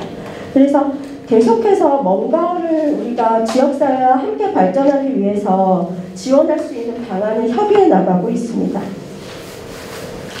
이 협의한 내용을 가지고 아까는 어떤 기관과 대학 교수님들이 이야기했잖아요. 이걸 가지고 저희 한국어 교육과 학부생과 대학원생, 그 다음 다문화 융합 전공 학생들과 같이 또 한번 학술 대회를 열었습니다. 그러니까 서로의 논의들, 어, 뭐 우리가 할 수 있는 어떤 상담, 교육, 특성화 사업은 무엇이 있을까에 대해서 논의를 했고요. 이때도 여기 지금 보여드리는 것처럼 외, 외국인 노동지원센터의 팀장님이 같이 참여하셔가지고 그 외국인 노동지원센터에서 또 생각하는 것들도 같이 의견을 교류해 주셨습니다. 네, 그다음 이제 일곱 번째 운영 사례입니다. 다문화 가족 사진 촬영을 했는데요. 이거는 이제 다, 사실 한국인들도 가족 사진을 찍는 게 굉장히 어려운 일이고 다 모이는 것도 어렵고 인화하는데도 시- 그 돈도 많이 들고요. 액자도 굉장히 그렇거든요. 그래서 이 다문화 가족 같은 경우에 가족 사진이 없는 집이 굉장히 많다고 해요. 그래서 아 그럼 이거 우리가 한번 해보자라고 해서 저희 학교 사진 영상 드론학과 학생이 사진 촬영을 하고 저희 학교 뷰티 미용 디자인학과 학생들이 헤어와 어, 그 화장을 해줬고요. 그다음에 한국어 교육과 학생들이 통역을 하고요. 유아 교육과 학생들이 그 엄마 아빠가 머리하고 화장할 때 아이들이 어디 갈 데가 없잖아요. 그래서 유아 교육과 학생들이 놀이 프로그램을 진행했습니다. 그래서 여기 보여드리는 것이 뷰티 미용 실습실에서 이루어진 내용이고요. 어, 이게 유아교육과 실습실에서 아이들 프로그램 운영하는 모습입니다. 그리고 사진 영상 드론학과 학생들이 사진 촬영을 이렇게 해주었고요. 네, 끝난 다음에도 우리 광주대학교의 캠퍼스가 굉장히 아름다워서 그 캠퍼스 곳곳에서 이렇게 가족 사진을 찍는 네, 모습을 발견할 수 있었습니다. 그 사진 영상학과 학생들이 많은 사진 촬영을 도와줬습니다. 지금 말씀드린 내용 네, 보도 자료고요. 그 다음에 이제 인화하고 액자까지 넣어가지고 완성된 완- 완성된 액자를 동, 동구 가족센터에 네, 기부를 이렇게 했습니다. 그래서 여기 센터장님이 이날 말씀하시기를 이 프로그램이 너무 좋다. 그리고 만족도가 진짜 좋다. 그리고 또 하고 싶다고 하는 다른 가족들이 있다. 계속 해줄 수 없겠냐. 이렇게 부탁을 하셨었어요. 그래서 굉장히 좋은 프로그램으로 기억이 되고요. 그 다음에 이제 호남 지역을 넘어서서 이제 충청권에 있는 배재대학교와 배재대학교 어, 그 다문화 그 선교 복지 융합 사업단과 함께 MOU를 체결했습니다. 호남대와 함께. 그래서 앞으로 이 다문화 사회에 필요한 인재 양성을 위해서 교육 컨텐츠도 교류하고 다양한 비교과 프로그램도 같이 한번 해보자 라고 협업을 하기로 약속을 했습니다. 그리고 지금까지 말씀드린 이런 운영 성과를 인정받아서 그 광주대가 다문화 어울림 한마당 축제에서 동구 다문화 가족 복지 증진에 기여한 공로를 인정하겠다라고 하면서 유공자 표창을 받기도 했습니다. 그래서 지금까지 말씀드린 여러 가지 사례들이 있지만 뭐 운영 성과는 제가 써놓은 대로 굉장히 뭐 여러 가지입니다. 가장 제가 아, 이게 운영 성과다 너무너무 좋다라고 생각하는 것은 학생들이 일단 전공으로 학습한 것이 지역사회에 기여할 수 있는 것들이 있다는 걸 깨닫, 깨닫는 거. 그 다음에 학생들이 교실에서만 받은 이론 수업이 실습으로 이어지고 또 저희 한국어 교육 학생은 최종적으로 외국인 노동자 지원센터에 이번에 취업을 했습니다. 강사로서. 그래서 이것이 취업과도 연계가 될 수 있다는 점이 굉장히 큰 성과라고 생각합니다. 그래서 어, 2022년에 융합전공을 개설하고 2023년에는 서비스라는 교수학습 방법을 고도화해 나가고자 합니다. 지난주에 제가 저희 학교 공아리 교수님과 광주시청에 다녀왔었는데요. 광주시청에 그 다문화 가족 지원 사업이 4월에 예정되어 있습니다. 그래서 다문화 가족 지원 사업도 공모를 할 생각이고요. 다문화 가족 프로그램, 또 중도 입국 자녀 멘토링 프로그램 등이 필요하다고 하더라고요. 근데 이 광주시청의 다문화 사업이 대부분 기관들만 하려고 하지 대학이 아무도 나서지 않는다고 하시더라고요. 그래서 대학이 나서줬으면 좋겠다라고 그 시청 직원분께서 얘기를 하시더라고요. 그래서 저희 광주대학교가 최초로 또 한번 지원을 해보려고 합니다.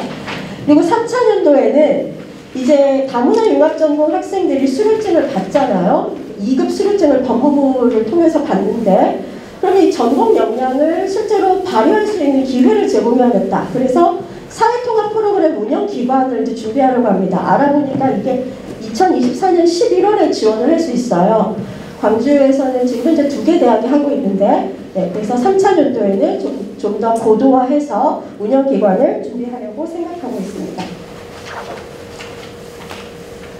그리고 이제 이거는 아직 발간 전이긴 한데 2월 말에 발간하려고 지금 준비 중인데요. 현재까지 보여드린 이런 비교과 프로그램, 그다음에 광주대학교의 어떤 소식 이런 것들을 담은 어, 호신다락이라는 어떤 잡지를 발간하고자 합니다. 그래서 service learning을 통해서 얻은 어떤 뉴스 기사, 학습자의 생생한 소감, 내가 비교과 프로그램에 참여했더니 이러이런 걸 배웠어. 이러이런 거를 내가 더 잘하게 됐어. 이런 성과가 있죠. 그거를 이제 학생들이 그냥 자기 혼자 느끼는 것에 끝나지 않고 다른 친구들도 보고 지역 주민들도 보고 다른 외국인들도 볼 수 있도록 한국어와 지금 베트남어만 이번 학기 준비했지만 앞으로는 영어나 또 다른 외국어로도 번역해서 예를 들면 이런 식으로 지금 준비를 하고 있거든요. 아까 보여드렸던 그런 기사들이 굉장히 정제가 잘 된 글입니다. 그 글을 번역하는 어, 활동들을 학생들이 직접 하고 네. 이렇게 한국어로 된 기사를 이렇게 그래서 베트남 학생들도 알게 되고 지역 주민들 중에 베트남 사람들이 또 많으니까요. 그래서 지역 기관에도 이 잡지를 보여주면 사실상 홍보용으로도 좋고 또 아 광주대학교에 이런 비교과 프로그램이 있구나라는 걸 또 알 수도 있고요. 더 나아가서는 해외 대학의 홍보 자료가 따로 필요 없습니다. 이렇게 학생들이 우리 학교가 재밌고 내가 이걸 많이 배웠다라고 한다면 네, 이것도 홍보 자료로서도 기능할 수 있을 것이라 생각합니다. 그래서 앞으로도 광주대학교가 어, 지역 대학에서 지역 사회와 함께 성장할 수 있도록 노력해 나가고자 합니다. 감사합니다.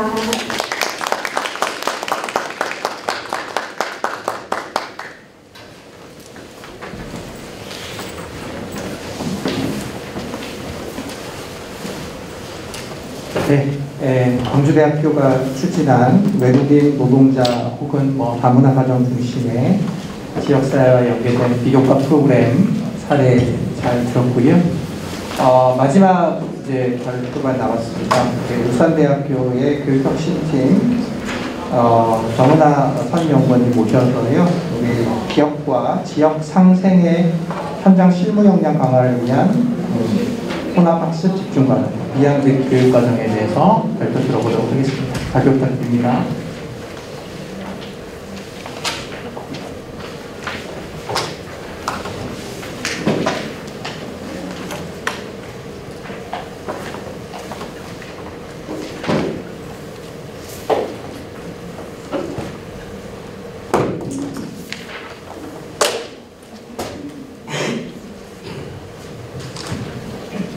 안녕하세요. 안녕하세요. 울산대학교에서 울산대학교 교육혁신팀에서 근무하고 있는 정은아입니다.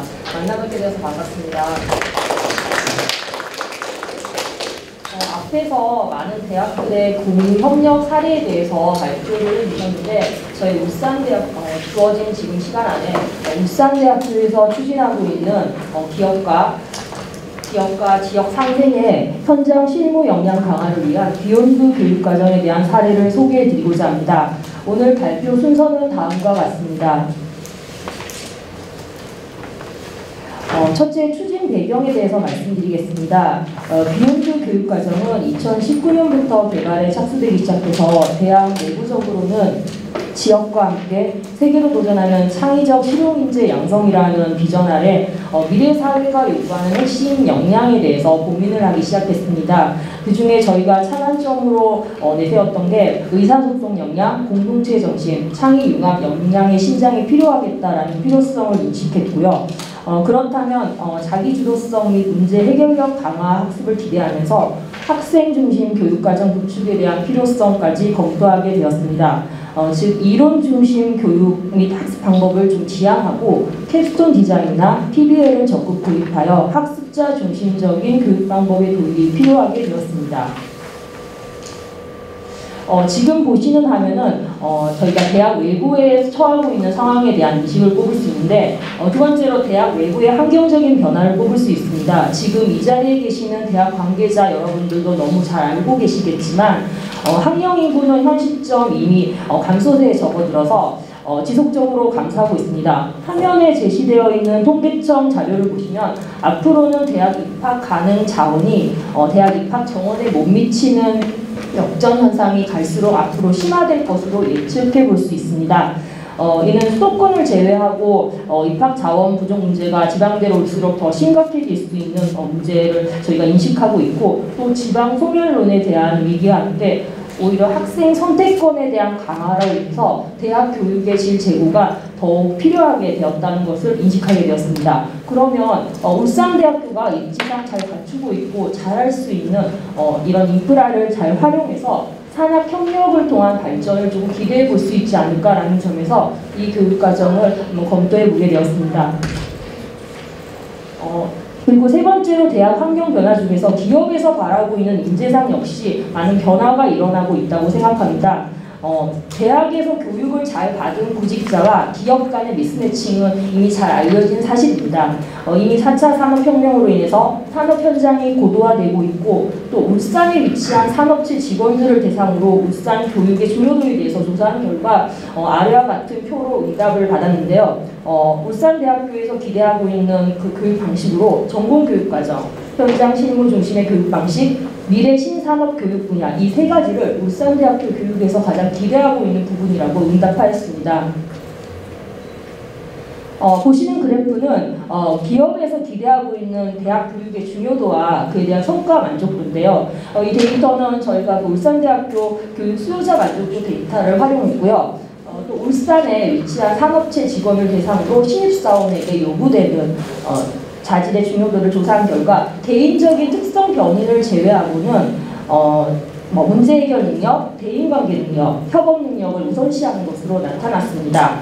이에 현장 실무형 인재 육성에 대한 필요성이 앞으로 더욱 강하게 어, 제기되었습니다. 실제로 울산대 졸업생의 경우에는 오른쪽에 보시는 표와 같이 어, 대인관계, 업무 수행 능력 부분에서는 어, 비교적 5점 만점에 어, 만족에 가깝게 응답을 받은 상황이었습니다. 어, 그래서 이러한 필요성을 바탕으로 해서 비욘드 교육 과정에 대한 정의는 다음과 같습니다. 어, Beyond 교육 과정에서 Blended Education에서 이 Y가 뜻하는 부분은 커뮤니티, Industry, University와 같이 이 세 가지 지역, 대학, 그 다음에 산업과의 연계를 뜻하고 있습니다. 이 과정 안에서 온라인 선수학습 과정, 전공 이론 교육, 현장 문제 해결 PBL, 현장 실습을 유기적으로 연계하는 혼합형 집중 교육 학습 과정이라고 볼 수 있습니다. 어, 한 학기당 14에서 16학점으로 구성되어 있고 6개월 과정으로 집중 실시하고 있습니다. 그리고 전공 기반 자기 주도적 현장 실무 역량을 강화하기 위해서 기존의 어, 현장과 캠퍼스의 물리적 경계를 조금 극복하고 독립적으로 운영되고 있었던 캡스톤 디자인과 현장 실습의 단점을 보완하고자 노력했습니다. 지금 보시는 표에서는 저희가 지금 어, 실제로 학생들이 어, 현장 실습을 나가고 있는 7개 지역 사회 복지관과 그리고 현장 실습을 진행 중인 현대미포조선, 그 다음에 한국생산기술연구원과 같은 이런 기업들의 어, 명칭을 지금 표시하였습니다.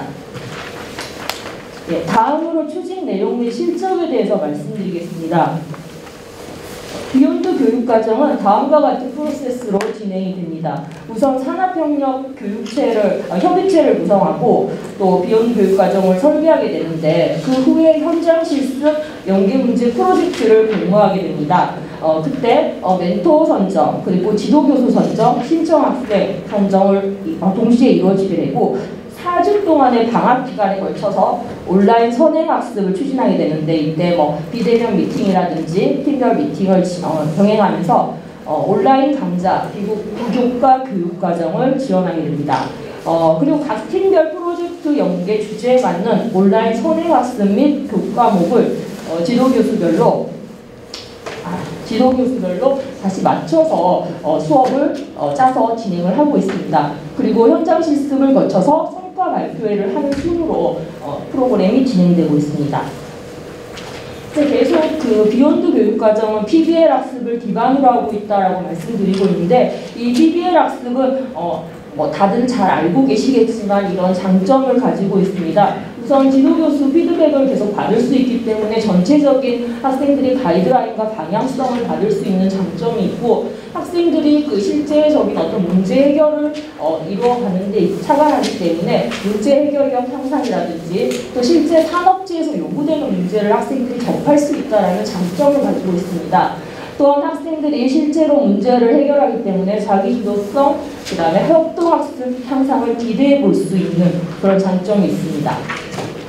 어, 그러면 울산대학교에서는 비욘드 교육과정을 어떻게 지원하고 있는지에 대해서 살펴보겠습니다. 물론 다른 학교에서도 똑같이 지원하고 계시겠지만 어, 우선 설명회나 신청 안내를 통해서 학생들, 지도교수, 그리고 멘토, 어, 멘토를 모집하게 됩니다. 그리고 저희가 어, 지원 경비 그 팀별 비대면 회의라든지 팀별 그 오프라인 회의들을 진행할 때 드는 지원 경비라든지 그리고 온라인 교육 과정 속에서 이루어지는 소프트웨어 개발 구입이라든지 그리고 중간 발표회나 최종 성과 공유회 그리고 저희가 이 학과 조교 선생님 외에도 사실은 저희 교육혁신팀에서는 Beyond 교육 과정을 별도로 지원하고 있습니다. 전담 부서 및 조직이 있고요. 그리고 이러한 어, 프로그램이 정말로 잘 돌아가는지 효과성 검증을 하기 위해서 저희가 사전 사후 핵심 역량 진단이라든지 만족도 조사를 결과를 통해서 어, 효과성 검증을 해 나가고 있습니다. 어, 우선 그 기계조선 Beyond 모형의 한 가지 사례를 보여드리겠습니다. 어, 이렇게 지금 온라인 비교과 과정이 이렇게 구성되어 있고요. 어, 기업 수요 기반 전공 이론 교과목 PBL 현장 실습 순으로 어, 이루어지는데 어, 우선 방학 동안에 이루어지는 온라인 선행 학습은 무크나 그다음에 유튜브 그다음 어 그 울산대학교에서 진행하고 있는 유, 어, 유클래스는 유클래스를 통해서 온라인 선행 학습이 이루어지고 있고 어 기계조선 해양에서 많이 쓰이는 소프트웨어 교육이 별도로 그 온라인 비교과 과정에서 이루어지고 있습니다. 이때 필요한 MSC 소프트웨어 교육과 AI 교육이 함께 이루어지고 있습니다. 어, 추후에 진행되는 그 기업 수요 기본 전공 이론 교과목에서는 어, 교수님들이 직접 설계한 어, 학습 과정에 따라서 수업이 이루어지고 있고요. 어, 각각의 수업은 어, 모두 다 PBL 주제를 통해서 어, 이루어지고 있습니다. 아래 제시되어 있는 사진은 그 사례들입니다. 네, 그래서 올해 그 2022년에 진행되었던 PBL 주제들은 지금 다음과 같은 4개의 사례들로 제시되어 있고 어, 그 첫 번째 팀이 어, 제시한 그 이미지 인식 기술을 활용한 비글 캐리어 로딩 컴퓨터 성능 개선 같은 경우에는 어, 이게 지금 현대 리포조선 멘토님의 그 지도 어, 도움을 받아서 학습을 진행했고 그 선박의 무게 중심을 정확히 예측하지 못해가지고 어, 일어나는 사고 위험성을 우려해서 국내 선주가 실제로 개선을 요구했던 만큼 정말 실제 어떤 산업과 연관되어 있는 프로젝트를 어, 학생들이 주제로 선정하는 에, 그런 결과를 저희가 이끌어냈습니다. 네, 지금 현장 실습은 총 4주차로 진행이 되고 어, 현대 리포조선에서 기본도, 뭐 생산도, 주요 도면 이런 이해 과정에 대한 결과를 거쳐서 4주차로 진행이 되고 또 뭐 최종 평가나 마무리를 통해서 어, 성과 보고의 시상식을 하는 장면들이 지금 옆에 사진에 제시되어 있습니다. 그 다음으로 내용을 보시면 학생들이 지금 학습한 내용들을 살펴보실 수 있는데 온라인 수업 과정이 실제로는 조금 나태하게 이루어지지 않을까 하는 어떤 우려가 있을 수도 있는데요. 어, 기존에 어, 학생들이 어떤 그 해- 했던 학습 내용들을 보시면 음, 기존의 엑셀 시트와 함수를 보면서 공식을 분석해서 어떤 60페이지 분량의 보고서를 스스로 정리하고 또 사용된 공식 이론 원리에 대한 설명뿐만 아니라 수식 오류도 발견해내기도 하고 이런 식으로 성과 결과 학습 보고서를 작성해서 내도록 하고 있고요. 어, 또 그 학습 과정에서 사실 잘못 이끌어지는 내용들은 어, 재학생 튜터링이나 또 산업체 멘토를 통해서 학생들이 피드백을 받고 있습니다. 이때 그 지도 교수님의 피드백도 굉장히 중요한 장점으로 작용하는 것 같습니다. 이런 활동을 통해서 학생 질문 사항이나 스스로 알게 된 내용을 기록하고 멘토 및 어, 그 튜터의 평가 피드백을 받으면서 학생들이 성장해 나가게 되는 것 같습니다. 어, Beyond 교육과정은 2019년부터 사실 모형 개발에 착수하게 되어서 현재에 이르렀고요. 어, 저희가 뭐 산업협력 또 교육 협의체를 구성하고 지원하는 첫 단계부터 기업 수요 기반 어, 전공 교육과정을 설계하고 운영하기에 이르기까지 학과 교수님들의 의지가 가장 중요하고 그리고 두 번째로는 내부 구성원들의 공감대 형성이 가장 우선순위로 필요하지 않나 싶습니다. 어, 현대 미포조선부터 사실은 처음 시작을 했고요. 지금은 지역사회 복지기관 7개 기관, 한국생산기술연구원까지 확대되었습니다. 사실 이게 양적인 확대로 이루어지면 굉장히 좋겠지만 현실적으로는 저희가 공대에 치우친 부분이 있어서 어, 일단 공대에 한정되어 있는 부분이 있고 앞으로는 학과 편중을 해소하고 산업체 분야 확대를 위해서 쓰고 있습니다. 어, 비욘드 교육 과정이 기존에 어, 어, 뭐 없었던 어떤 현장 실습이나 어, 비연계적인 교육 과정의 문제점을 해소하는 데 도움을 줬다고 생각을 하고요. 그리고 학교 교육 과정과 실무자 현장 프로젝트의 연계로 인해서 기업에서의 활용도가 많이 높아졌다고 생각합니다. 사실 그냥 단기 실습 과정으로 오는 학생들에게 그 기업에서 기대할 수 있는 바가 사실 크지는 않았는데요. 학기 초부터 산업체 멘토가 함께 참여하면서 현장 실습까지 이끌어내는 과정에서 기업에서의 뭐 활용도라든지 적극 참여도가 많이 커졌습니다. 마지막으로 추진 성과에 대해서 말씀드리겠습니다. 네, 제시되어 있는 화면은 울산대학교가 설정한 핵심 역량과 어, 문제산입니다. 네, 저희가 뭐 그 핵심 역량 진단 중에서 비욘드 참여자와 미참여자 간의 그 역량 진단 결과를 비교해 봤을 때 요구하는 역량이 공동체 정신에 대한 진단 그 결과에 대해서 이 참여자의 경우 미참여자보다 약간 더 앞섰다 이렇게 판단을 했고요. 그리고 공동체 역량을 하위 역량들을 쪼개봤을 때 어, Beyond 참여자와 미참여자 간의 차이를 비, 비교해 봤을 때 공감 능력과 협업 능력 부분에서 미참여자보다 Beyond 교육과정 참여자의 역량이 더 높게 나타났습니다. 어, 이는 저희가 그 산업협력 교육의 효과로서 현장에 대한 실무 역량에 대한 이해의 결과라고 볼 수 있겠습니다. 어, 그리고 저희가 그 양적인 정량적 결과로서 어, 모든 학교에서 진행하고 계시겠지만 K-NEC 데이터를 활용해가지고 고효과 프로그램과 그리고 진로 성숙도, 대학 몰입에 대한 부분을 포커싱해서 살펴보았습니다. 어, 4학년이 주로 참여하는 현장 참여 학습 프로그램과 고학년 대상 활동 부분에서 미참여자인 4학년 다른 4학년 학생들에 비해서 이 Beyond 이수자의 경우에는 만족도가 높게 나타났습니다. 어, Beyond 교육과정에 참여하는 학생이 그렇지 않은 학생들보다 진로 성숙도에 대한 부분에서도 약간 상회하는 결과를 보였는데 어, 4학년이 되면 사실은 신입생이나 재학생들에 비해서 대학에서 지원받는 게 좀 많이 없다, 부족하다라는 느낌을 사실은 많이 받을 수 있는데 Beyond에 참여하는 학생들의 경우에는 어, 다르게 생각했던 것으로 나타납니다. 어, 여기서 진로 성숙도는 어, 자신의 어떤 어, 대학생이 스스로 좋아하는 일과 잘하는 일이 무엇인지를 알고 관련 직종에 대한 준비가 얼마나 되어 있는지를 어, 보여주는 지표인데요. 어, 이 Beyond 참여자의 경우에는 진로 성숙도 또한 어, 미참여자보다는 더 높게 나타났다 이렇게 보실 수 있습니다. 어, 그리고 마지막으로 살펴보실 것은 Beyond 만족도 조사 결과를 볼 수 있는데요. 5점 만점의 기계조선의 경우에는 4.30, 그리고 사회복지의 경우에는 4점 이상으로 나타났습니다.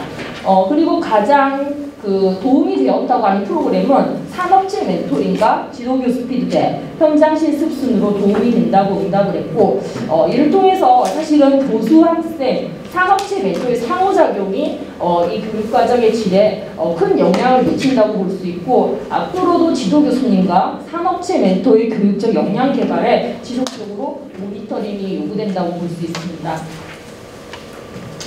그렇다면 학생들은 어떻게 느껴보는지 만족도 조사의 서술형 응답 결과를 정리하였습니다.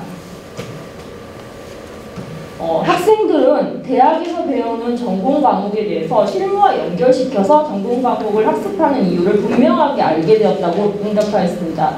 그리고 수업 시 교수님께 질문을 드리는 게 굉장히 어려웠는데 비욘드라는 명분으로 마음껏 질문을 할 수 있어서 너무 좋았다라는 의견이 있었고 어, 프로젝트를 진행하면서 막막하게 느껴지는 부분들을 교수님과 멘토의 도움으로 해결책을 찾고 더 많은 정보를 접할 수 있는 계기를 얻었다고 설명했습니다. 어, 그리고 산업체에서는 사실 장기 단기로 산업체 실습하러 온 학생들에게 현실적으로 기대할 수 있는 부분이 많이 없는데 어, 교육과정의 설계 시작부터 끝까지 함께 있기 때문에 기업에서의 활용도가 더욱 높아졌고 지속적으로 교육과정에 참여하겠다는 의사를 밝혔습니다. 어, 저희 향후 계획은 이렇습니다.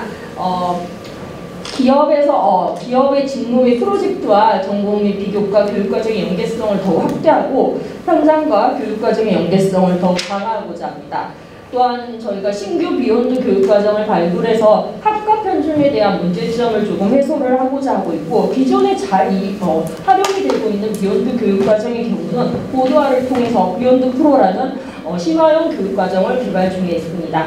어, 지금 뭐 사실 현장 실습이 이루어지는 많은 학과들이 있는데요. 이 학과들을 대상으로 앞에 나와 있는 수업 과정 설계만 사실 조금 더 개편을 하면 어, 다른 타 전공 참여 유도를 이끌어낼 수 있을 것이라 보고 있습니다. 그리고 어, 성과 관리를 통해서 꾸준한 지속적인 교육 프로그램의 효과성에 대해서 검증해 나갈 생각입니다. 저희가 뭐 사전 사후 핵심 역량 진단 결과 비교를 항상 늘 하고 있고요. 앞으로는 그 참여자의 대표 우수 사례 수기 같은 공모전을 통해서 정말 이 교육 과정의 우수성을 학생들에게도 널리 어, 전파를 할 예정이고 어, 사실 지금 아직 종단 데이터가 많이 쌓이진 않았습니다만 Beyond 이수자와 어, 단순 취업률 간의 비교를 통한 저희가 효과성 검증을 어, 준비를 하고 있습니다. 그래서 앞으로 울산대학교에서는 이 Beyond 교육과정에 대한 내실화를 위해서 더욱 애쓰고자 하고 있습니다. 예, 지금까지 발표를 들어주셔서 감사합니다.